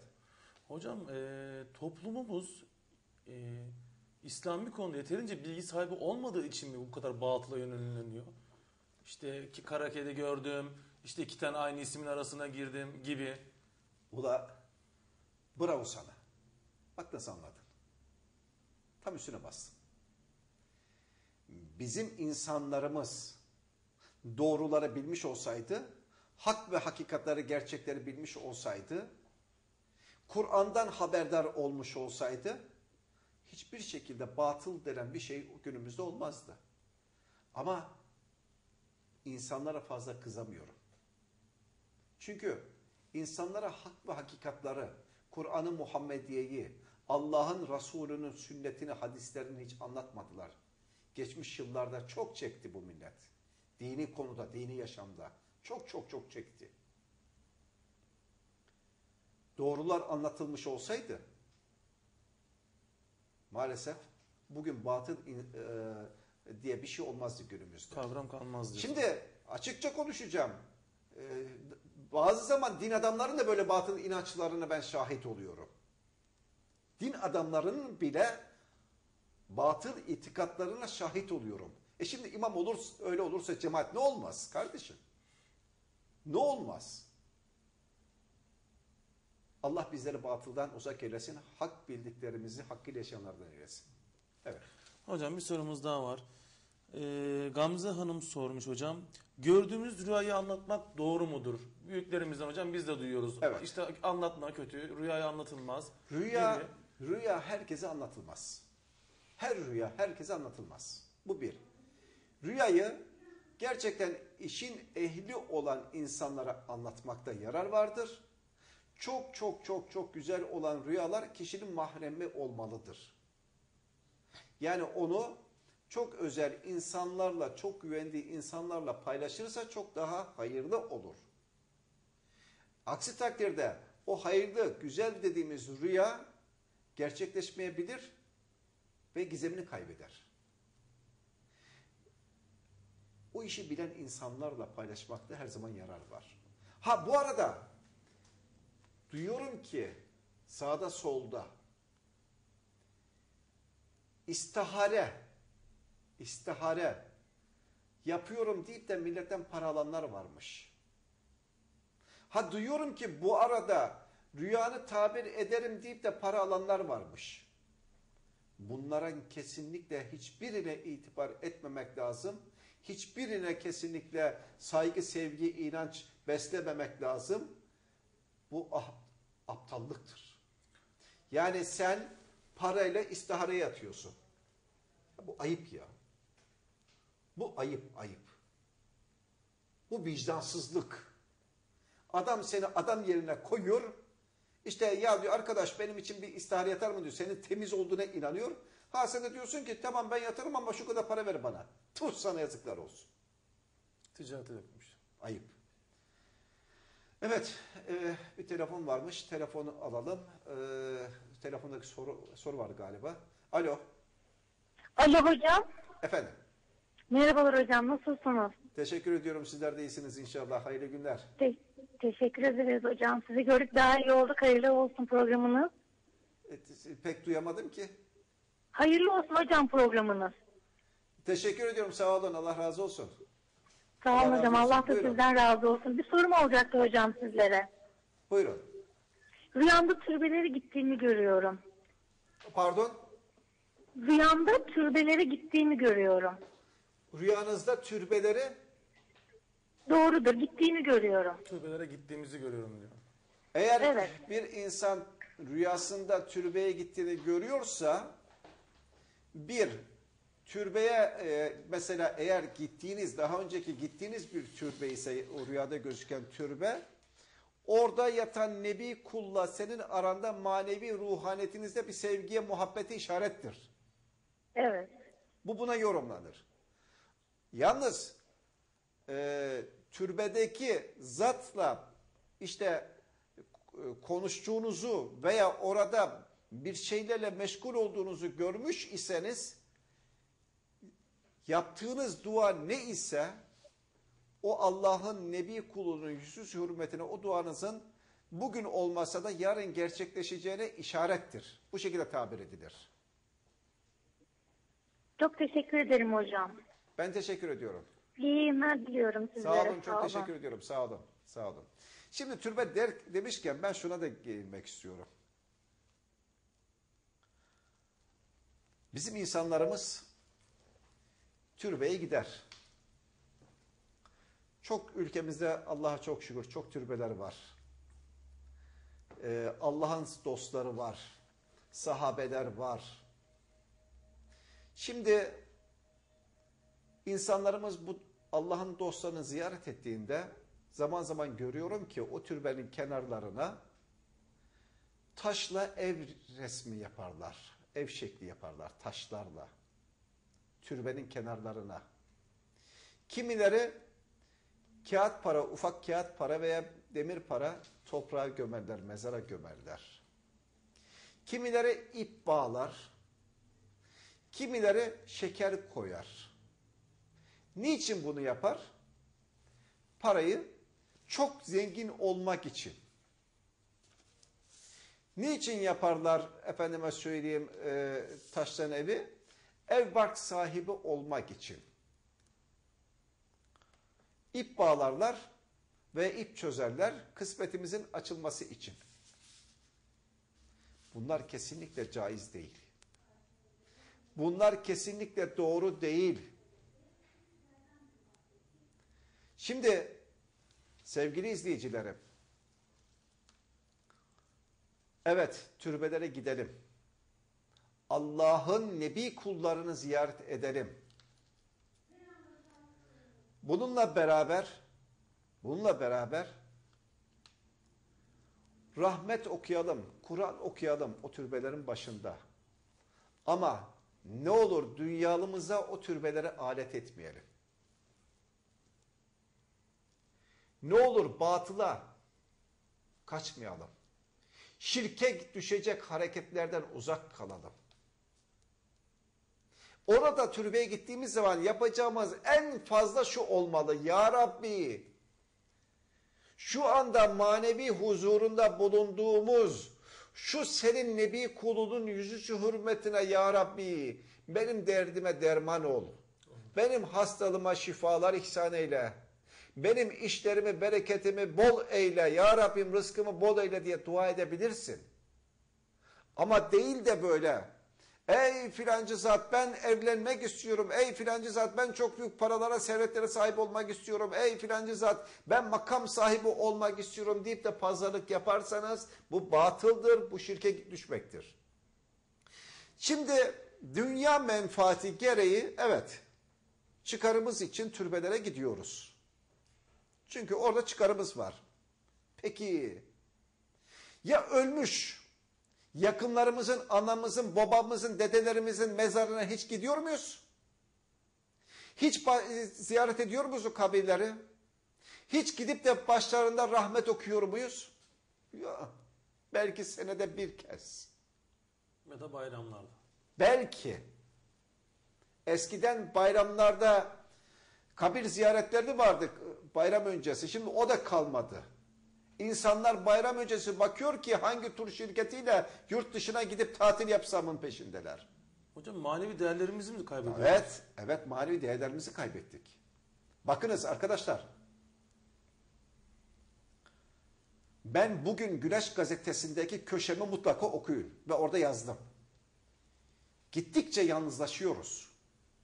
Gittikçe çığırından çıkan bir toplum oluyoruz. Çok fazla menfaatçi oluyoruz. Çok fazla dünyalık oluyoruz.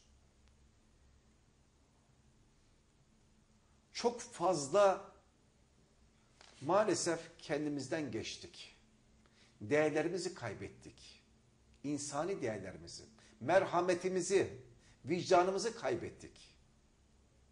Bakın birkaç gün önce birkaç gün önce adamcağızın bir tanesi derdi sıkıntısı neyse köprüye çıkıyor.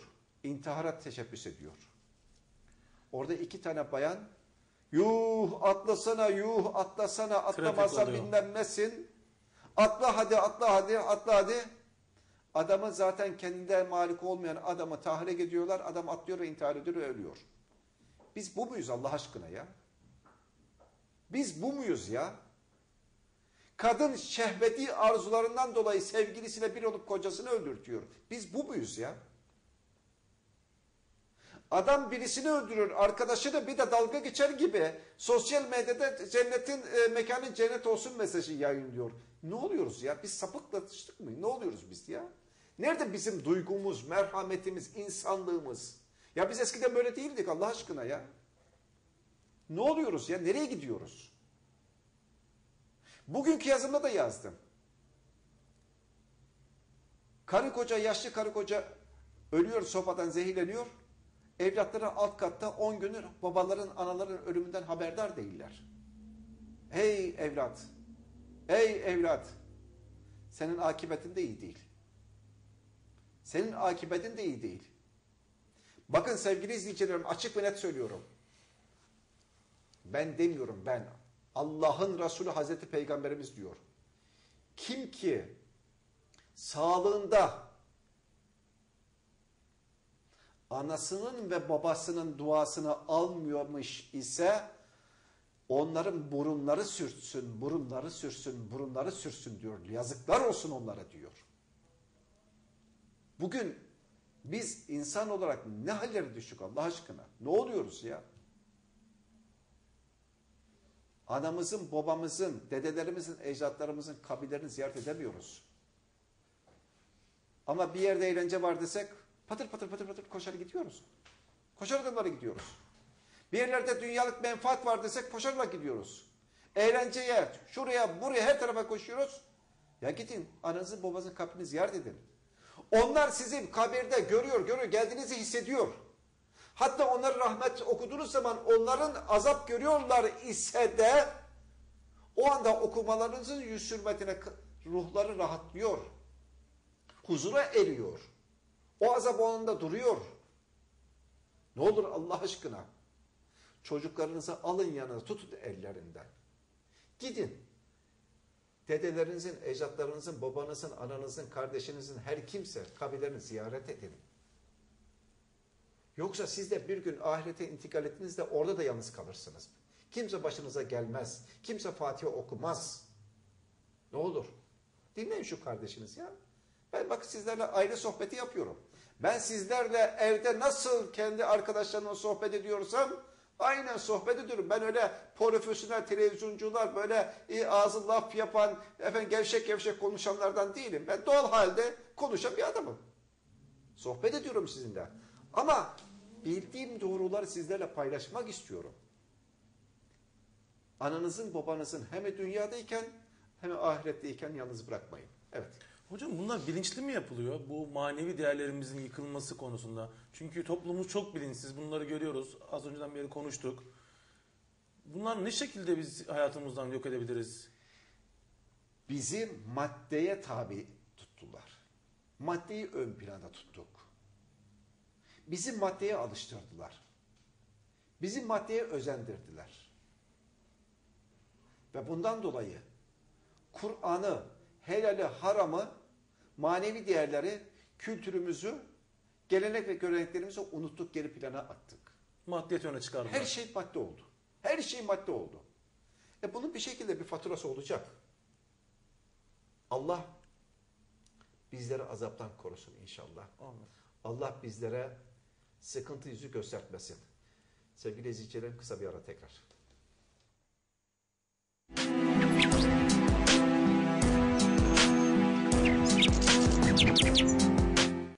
Bugün size harika bir ürün tanıtacağız. Elektronik fare ve haşere kovucu Ridex. Elektronik fare ve haşere kovucu Ridex, haşerelerle mücadelede tüm otoritelerce onaylanmıştır. Ridex, elektromanyetik, parazit ve ultrasonik ses teknolojilerinin her ikisini de içeren, bu sayede en etkin ve güvenilir korumayı sağlayan elektronik bir haşere kovucudur. Teknolojisi ve haşereler üzerindeki etkisine bakıldığında dünyada bir benzeri daha yoktur. Elektronik fare ve haşere kovucu Ridex, fare, sinek, hamam böceği, akrep, kene gibi birçok kemirgende başarılı olmaktadır. Piyasa fiyatı 120 lira olan Ridex'e çok kısa bir süre için 39 lira 90 kuruştan sahip olabilirsiniz. Üstelik bir adet alana bir adet de bedava gönderiyoruz. Evet yanlış duymadınız. 39 lira 90 kuruşa 2 adet Ridex fare ve sivrisinek kovucu gönderiyoruz. Ridex haşerelere karşı 3 güçlü ve etkili savunma yöntemi uygular. Dışarıdan içeri fare ve böcek girişini önler. Duvar içlerinde bile yuva yapmalarını engeller. Üremelerini durdurur, bir daha çoğalmazlar. Bu üç üstün ve kalıcı etki sayesinde yıllarca haşerelerinizi evinizden, iş yerinizden uzak tutabilirsiniz. Fabrikalarda gece çıkan yangınların en büyük nedeni farelerdir. Elektrik kablolarının içindeki pudrayı keşfedip kemirirler ve kısa devre oluşturup genellikle gece de müdahale edecek kimse bulunmadığından maalesef fabrikalar kısa sürede kül olur. Farelerin sebep olduğu yangınları sigorta önlemez. Elektronik fare ve haşere kovucu Ridex önler. Gıda imalathaneleri hem farelerin hem de böceklerin en sevdiği mekanlardan birisidir. Ortalık her gün ilaçlansa bile duvar içleri ilaçlanamayacağı için böcekler orada üremeye devam ederler. Ridex dışarıdan yenisini sokmadığı gibi içeride var olan böceklerin de gizlenmesine imkan vermez ve açığa çıkarır. Son bir kez ilaçlamayla içeride açığa çıkan böcekler bitirildikten sonra dışarıdan da yenisi gelemeyeceği için problem kökünden çözülmüş olur. Artık imalathaneler gıda denetimleri için kapılarını güvenle yetkililere açabilirler. Bugüne özel bu harika kampanyayı sakın kaçırmayın. Stoklarımız azalmaya devam ediyor. Hemen aşağıda yazan numarayı arayın ve Ridex kampanyasını kaçırmayın. Diğer tüm mekanlarda kullanılacak alanın büyüklüğüne uygun tek bir elektronik haşere ve fare kovucu Ridex cihazı merkezi bir yerde prize takıldığı andan itibaren fare ve böcek girişi tamamen kesilir. Elektronik fare ve haşere kovucu Ridex haşere önleme sistemine sahip cihazlar, farelerde ve diğer kemirgenlerin beyin otomatik reflekslerini birkaç saniye içerisinde bozar, etki alanına girme eylemlerine son vermektedir. Bu ani etki mekanizması sonucu içeride önceden yuvalanmış fare ve diğer kemirgenler hastalanmakta, üreme, uyku, beslenme düzenleri bozulmaktadır.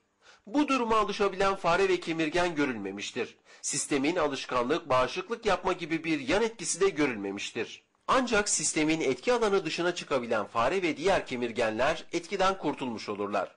Piyasa fiyatı 120 lira olan Ridex'e çok kısa bir süre için 39 lira 90 kuruştan sahip olabilirsiniz. Üstelik bir adet alana bir adet de bedava gönderiyoruz. Evet yanlış duymadınız. 39 lira 90 kuruşa 2 adet Ridex fare ve sivrisinek kovucu gönderiyoruz. Stoklar tükenmeden hemen arayın. Bu harika ürüne sahip olma fırsatını kaçırmayın. Kanatlı, yürüyen ve uçan böcek türlerinde de etkili olan Ridex, havadaki dalga salınımlarının karakteristik gücü onları uçamaz, yürüyemez, çiftleşemez, uyuyamaz hale getirir. Bilindiği gibi fare zehirleri 8 günden önce öldürmez. Bunun nedeni içerideki tüm farelerin zehri yemesini sağlamaktır. Bu 8 gün zarfında da içerideki fareler yavrulayabilir ve dışarıdan da sürekli yeni fare girme ihtimali vardır. Ridex'in çalıştığı mekanda asla dışarıdan fare girmez. Farenin dışında gelincik gibi diğer kemirgenler de giremez. Kertenkele, yılan, akrep, çıyan, kırkayak, kene, çekirge, arı, at sineği, yarasa ve benzeri tüm kan emen, kemiren, zehirli haşerat ve türlerinde etkilidir. Böcekler kalorifer böceği, karınca, bey böceği, hamam böceği, tesbih böceği gibi kabuklu böceklerden başka bit, pire, tahta kurusu gibi kan emen haşeratlarda da etkilidir. Böcekler iç mekana girmek için sadece kapı ve pencere kullanmazlar. Daha ziyade elektrik tesisatının içinden tüm binayı dolaşırlar. Ridex duvar içinde de yaptığı yayınla bu dolaşımı engeller. Betonarmeyi de etkileyecek böceklerin duvar içindeki barınma ve üremelerine son verir. Onların tamamını ortaya çıkarır. Evet sayın seyirciler, bugün özel bu harika kampanyayı sakın kaçırmayın. Stoklarımız azalmaya devam ediyor. Hemen aşağıda yazan numarayı arayın ve Ridex kampanyasını kaçırmayın. Elektronik fare ve haşere kovucu Ridex benzersizdir. Çünkü diğer kimyasal ilaçlar gibi kanserojen etkisi yoktur. Tamamen programlı olup müdahale gerektirmez. Böylece size haşeratlarla birlikte kendini de unutturur. İmalat hatalarına karşı 2 yıl ücretsiz teknik servis garantisi vardır. Bu arada ekranda gördüğümüz stoklarımız hızla azalıyor.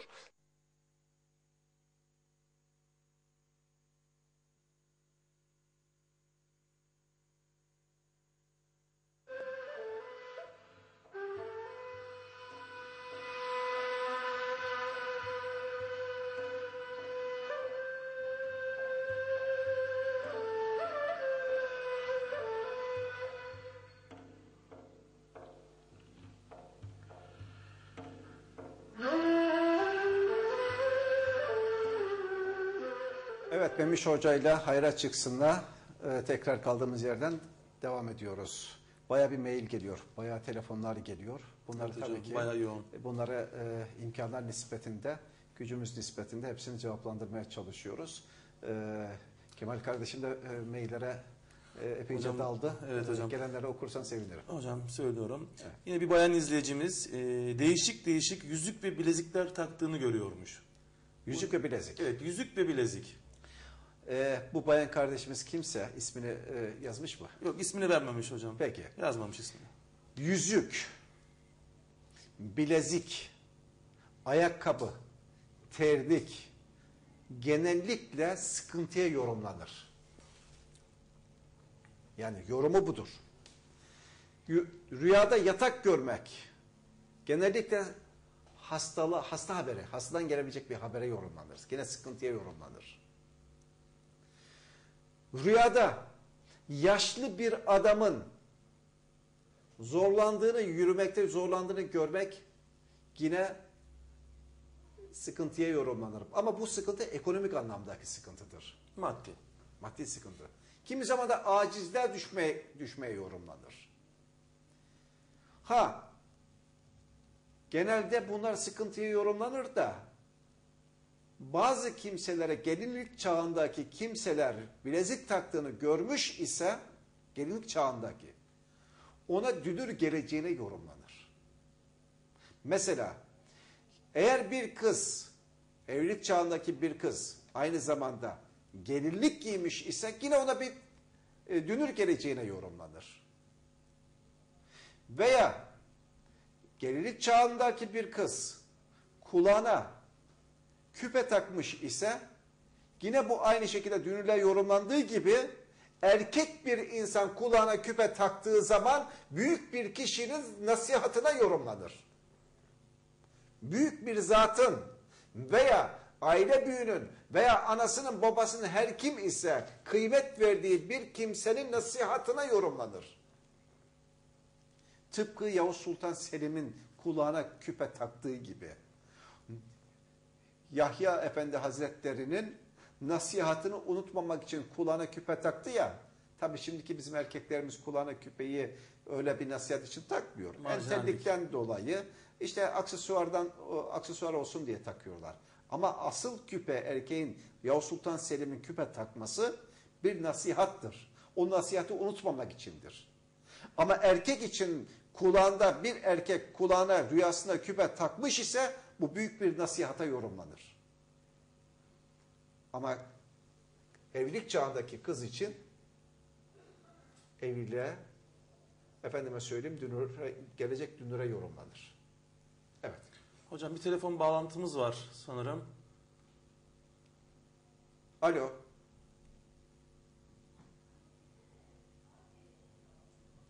Yok hocam mu? belki Yokmuş. problem Evet, oldu. peki. Hattan düştü demek ki hocam. Ee, bir izleyicimiz daha sormuş. Gökhan Bey sormuş hocam. Bir geminin içinde, büyük bir geminin içinde balık tutuyormuş hocam oltayla. Ne anlama gelir, neye tabi olur diye sormuş hocam. Gemide mi balık tutuyor? Evet, Denizde. geminin içinde evet Deniz denizde, değil, evet denizde denizde büyük bir geminin içinde Evet. balık tutuyor. Eğer bu Gökhan kardeşimiz yaşlı değil ise, genç birisi ise, Yaşını belirtmemiş hocam. genç bir insan rüyasında denize açıldığını, gemiyle denize açıldığını görmüş ise bu işle ilgili bir e, yola çıkmaya, adım atmaya yorumlanır. Adım atmaya yorumlanır. Hayırlı bir işe adım atmaya yorumlanır. Ama bu adım böyle e, biraz meşakkatli olacak bir adım. Bu adım e, böyle çok rahat o işte adım attığı işte e, selamet bulacağı anlamına gelmiyor. Ama rüya sahibi sabır ederse, çıktığı yolda sabır ederse Evet hocam. e, kazancının, bereketinin bol olacağına, büyük rızıklara sahip olacağına yorumlanır. Çünkü balık her zaman berekete işarettir. Her zaman. Ama gemiyle yol aldığından dolayı, denizde olduğundan dolayı atmış olduğu adımın biraz meşakkatli olacağına, zor olacağına yorumlanır. Ama orada sabır gösterirse rüya sahibi büyük bereketlere sahip olacaktır. Kısmetlere sahip olacaktır. Sabır gerekiyor. Eğer böyle bir e, yeni bir iş veya yeni bir işe adım atmak gibi bir niyeti varsa, Varsa. inşallah kendisi için hayırdır. Anladım hocam. Ee, hocam Hakan Bey bir soru sormuş hocam. Pardon özür dilerim hocam. Nuray Hanım'ın bir e, sorusu var hocam. Rüyada yemyeşil halı saha görmek ne demek diye soru sormuş hocam bize. Rüya, rüyada Rüyada kocaman yemyeşil bir halı saha görmüş hocam. Ne demek? yeşillik görmek burada yorumlanır. Büyük bir alan, alan görmek, büyük bir e, kalabalık bir ortamda bulunmaya yorumlandığı gibi ama orada halı sahada insan varsa bunu tabii Hocam boş detayını, mu? detayını yazmamış Evet. hocam. Eğer halı saha gibi, futbol sahası gibi bir yerde kalabalık insanları görmüş ise bu kardeşimiz rü- e, rüya sahibinin e, çok sayıdaki insanlar tarafından efendime söyleyeyim methedileceğine, güzel arkasından güzel sözler söyleneceği anlamına gelir. Veya bekar ise düğününün çok çok çok güzel olacağına, kısmetinin bol olacağı anlamına gelir.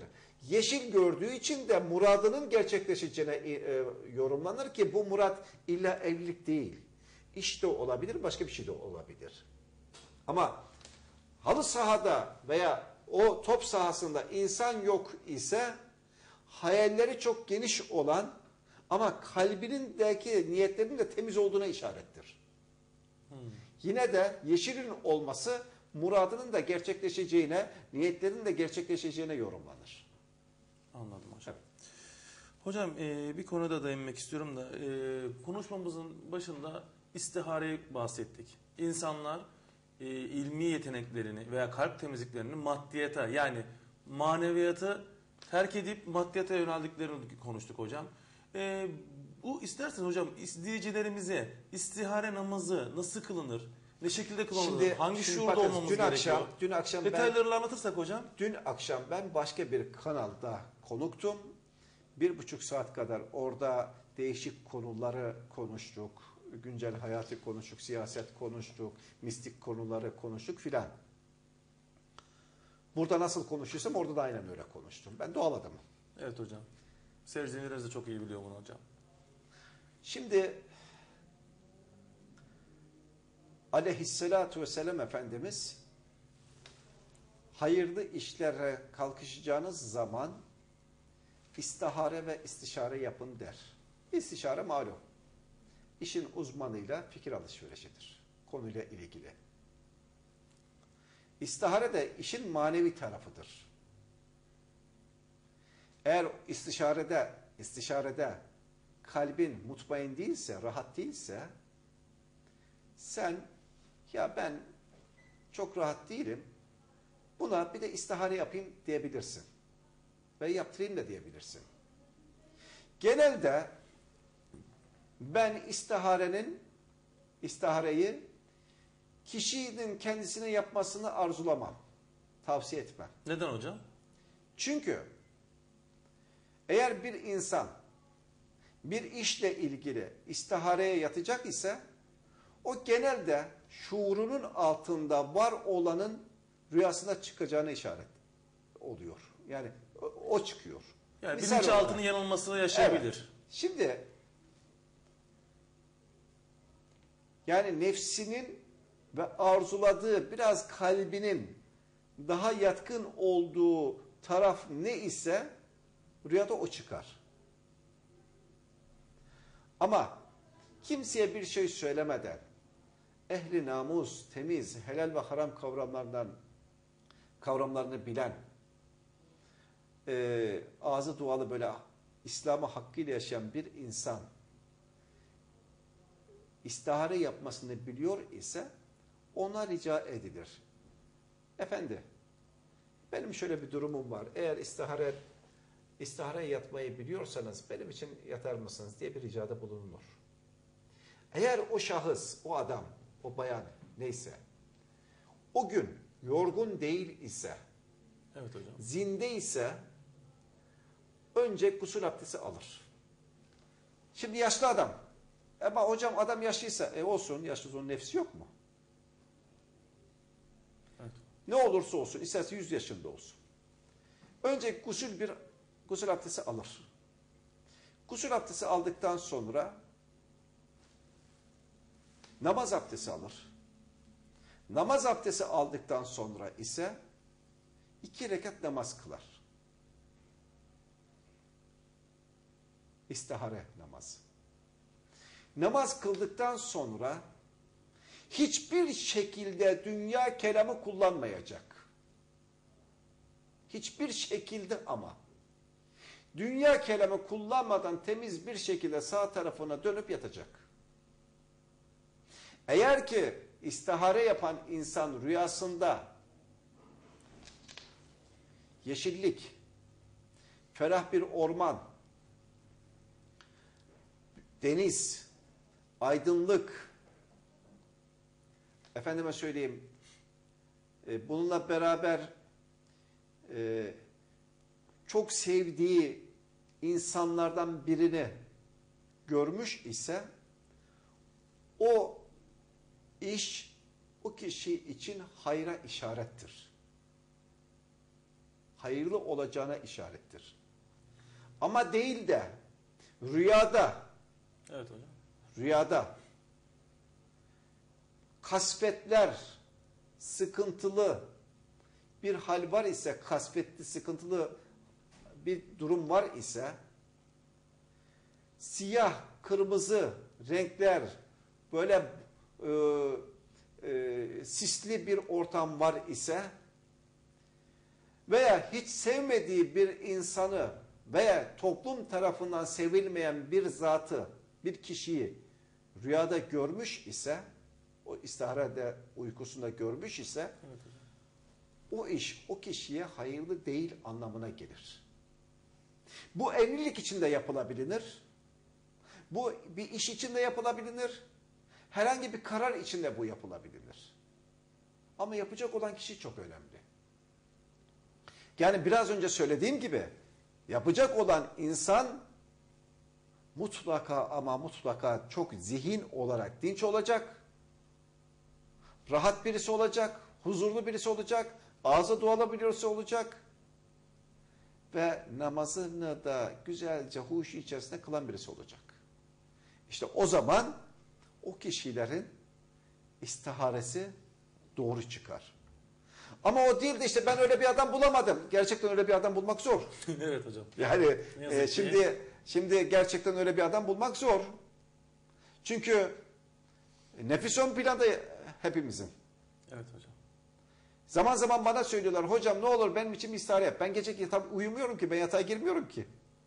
Ben 34 senedir günde benim en fazla 2 saatlik bir uykum var. O da böyle işte sağa sola dön uyuyabilirsen. İstihare yapamıyorum ki. Böyle bir şey ben yapamıyorum. Ha çok çok çok çok çok kıramayacağım bazı kişiler oluyor. İşte e, belli sayıda çok ciddi konularda. O zaman kendimi zorluyorum, hazırlıyorum ve yapıyorum. Ha biraz önce belirttim ya bunu yap, istihare yapmak için bazı insanlar diyorum ki para istiyorlarmış. Haram zıkkım olsun. Rüya yorum yapmak için para istiyorlarmış. Haram zıkkım olsun. Bu ayıp. Tekrar söylüyorum burada. İstihare, sizin için istihare yapacağım, bana para verin diyen insanların hiçbirine itibar etmeyin. Ben rüyanızı tabir edeceğim deyip de sizden para isteyen insanların hiçbirine itibar etmeyin. Çünkü bunlar manevi konular. Manevi konularda, manevi işlerde para, pul olmaz, olmaz, olmaz.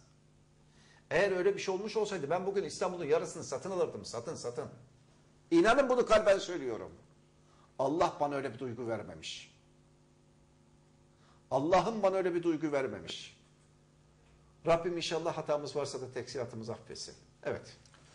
Hocam eee, bir izleyicimiz de yani konunun dışında bir sorusu olmuş ama Sinan Bey diyor ki tanıdığım bir insan, tanıdığım bir kişi gayri ihtiyar para kazandı. Bunu ben biliyorum, tanık oldum diyor. Ve daha sonra diyor ne olduysa diyor bu işten arındı ve gitti cami yaptırdı diyor. Şimdi diyor haramdan helal olur mu diye bir soru yöneltmiş bize.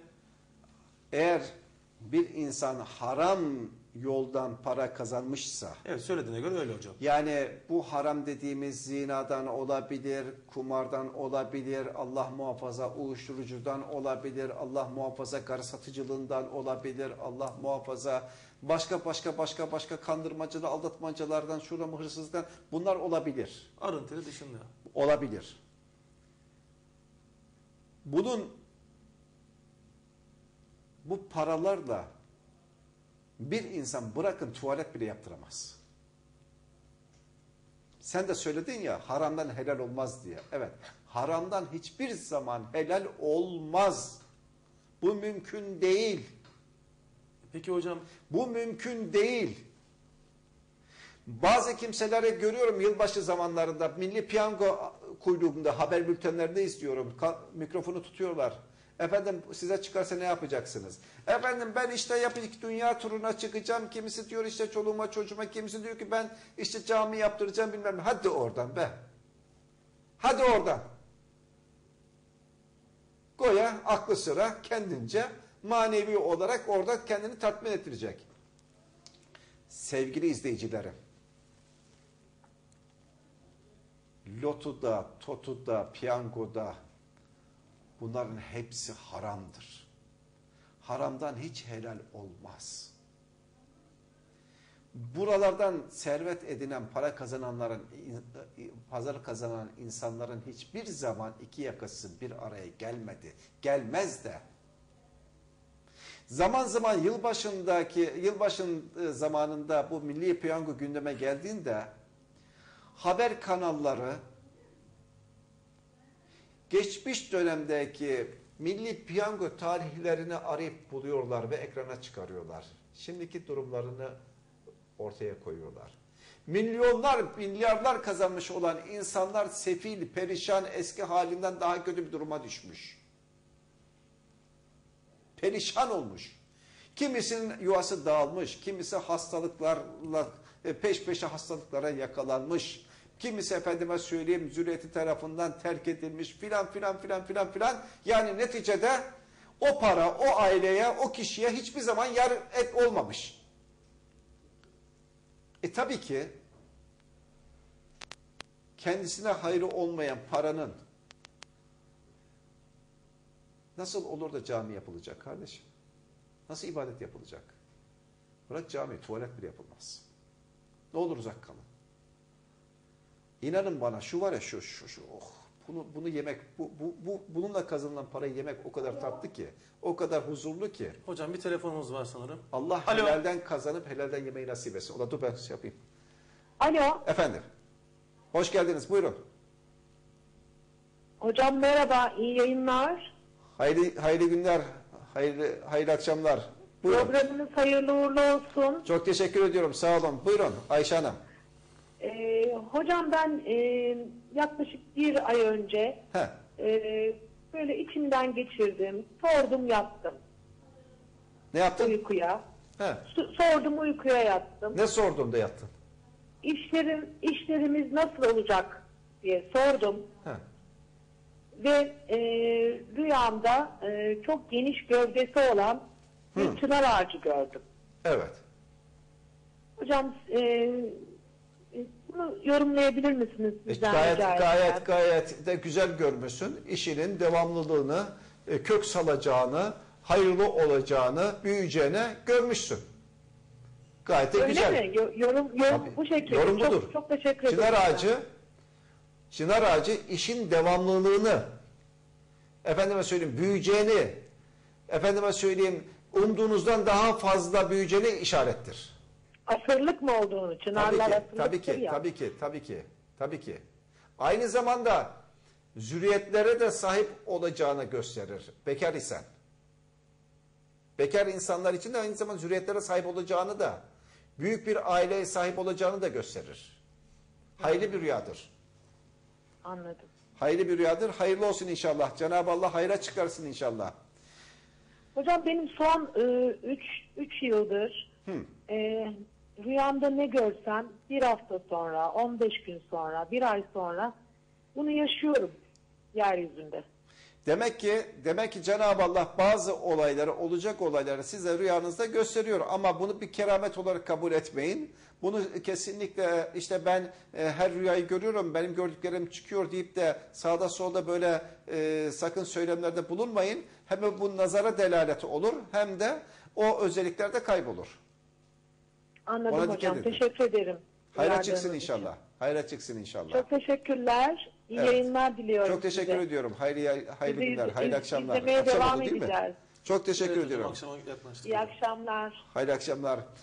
Evet sevgili eh, izleyicilerim e, bir beş dakika sonra programımız bitecek. E, fa- Başka mail varsa onu da hemen Hocam cevaplayalım. e, çok sorumuz var ama benim aklıma şey takıldı hocam. En son e, gelen sorudaki cevapta şimdi siz dediniz ki hocam e, haramdan helal olmaz. Tamam. Evet. Peki bu cami yapılmış ve bunun içinde insanlar ibadet ediyor. Bundaki günah, sevap O olacak hocam? insanlar o insanlar ibadete e, ibadet yapabilir. Bir kusur yoktur. O insanların ibadetine ma- e, şey değildir. Ama e, cami yaptıran insan eğer sevap bekliyorsa aa, hiçbir şey yok. Hiçbir şey alamaz. E, çünkü şu var bu 2-3 sene önce gazetelere konu olan bir şey vardı. Bir, belki daha fazla bir tarih. E, uyuşturucu işi yapan bir zat e, cami yaptırmış ve bu tartışıldı. İşte bu camide namaz kılınır mı kılınmaz mı e, tartışmalar oldu medyada. E, bana da sordular o zaman e, başka televizyonlar, haber kanallar. Dedi ki işte hocam e, böyle bir durum var. Burada peki namaz kılanların durumu e, ne olacak? Bu insanların namazı edin. kabul değil mi? Gibi bir soru geldi. O insanların hiçbir şey yok. E, mesuliyeti yoktur. İnsanlar orada Allah'ın muhabbeti olarak baksın, namazını kılsın, e, kafaya da bir şey takmasın. İnsanların namazı kabuldür.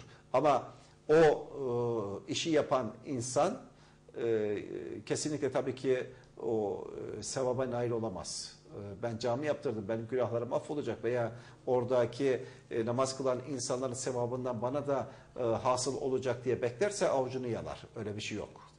İşte Öyle bir şey yok. Zaten uyuşturucu işi başlı başına şeydir. Çünkü neden? Uyuşturucudan binlerce insan ölüyor mu? Ölüyor. Hasta oluyor mu? Ölüyor. İntihara gidiyor mu? Gidiyor. Dinen Sen- haram değil mi hocam? Kesinlikle haramdır. Bunu haram mı diye sormak bir kere yanlış. Kesinlikle haramdır. Yani sadece uyuşturucu değil. Alkol, uyuşturucu, insanı keyif veren, insanı kendinden uzaklaştıran, efendime söyleyeyim kendinden kaybettiren her şey, nargile, sigara, bakın nargile, sigara kesinlikle haramdır, kesinlikle haramdır. Fetva ise fetva veriyorum arkadaş. Nargile, sigara, bilhassa söylüyorum. Ama hocam sigara mekruhmuş, de gidin oradan ya. Kimin fetvasıymış o? Sigara kesinlikle haramdır. Eğer bunun üzerinde, bunun üzerinde efendim sigara içmek insanı öldürüyor diye yazıyor mu? Bilim adamları bunu söylüyor mu? O zaman bitiyor. Bu intihardır bu. Bu intihardır ya. Bu haramdır. Bu madden de haramdır. Manen de haramdır. İki. Bakınız bir şey daha söyleyeceğim. Kapanış gelene kadar bitireyim. Sigara içen insanın yanından rahmet melekleri uzaklaşır arkadaş. Soruyorum sizlere. Hangi biriniz pis bir kokunun yanında saatlerce, dakikalarca durabilir? Hiçbiriniz. Pis kokunun yanında durabilir misiniz? Peki sigaranın temiz olduğuna, iyi koktuğuna, e, koktuğunu söyleyebilir misiniz? İyi bir şey olduğunu söyleyebilir misiniz? Hayır. Melekler de o pis kokudan kaçar. E kaçtığı zaman dolayısıyla rahmet melekleri o insanın etrafından kaçarsa o insanın bereketi olmaz. Huzuru ve saadeti olmaz. E yerini ne alır? Yerini şeytan alır. E şeytan alırsa ne olur? E sıkıntılar peş peşe gelir. Bazı insanlara sigara içme duygusunu, dürtüsünü de genellikle şeytan cinler verir. Vesvese veriyor. onların gıdasıdır. Onlar sever onu. O kokuyu severler. Sevgili izleyicilerim programımızın sonuna geldik. Memiş Hoca ile Hayra Çıksın programının sonuna geldik. Her cumartesi rüyalarınızı yorumlayacağız. Zaman zaman sizden sizlerden gelen sorulara cevaplar vereceğiz. Bize yazın. Bize mailler yollayın. Gördüğünüz tabii ki bir sürü e, e, bekleyen mailler de var hocam. Onları da inşallah haftaya cumartesi günü e, cevap vereceğiz. Yalnız çarşamba günü buradayız. Çarşamba günü saat 4 ile 6 arası Memiş Hoca ile bilinmeyenler programı için buradayız. Mutlaka sizler bekliyorum. Şundan emin olun ben samimi adamım. Düz konuşuyorum. Beni bir kardeşiniz olarak kabul edin. Ee, benim samimiyetime inanın. Allah'a emanet ediyorum. Yarın imtihana girecek olan kardeşlerime, kardeşlerime Allah'ım zihin açıklığı versin. Allah'ım onların istikbalini güzel eylesin. Bahtını güzel eylesin. Allah'ım onları şerlerden korusun, nazardan korusun. Allah'ım onları, anaların, babalarına, devletine, milletine, dinine bağışlasın. Amin. Hepinize hayırlı akşamlar diliyorum.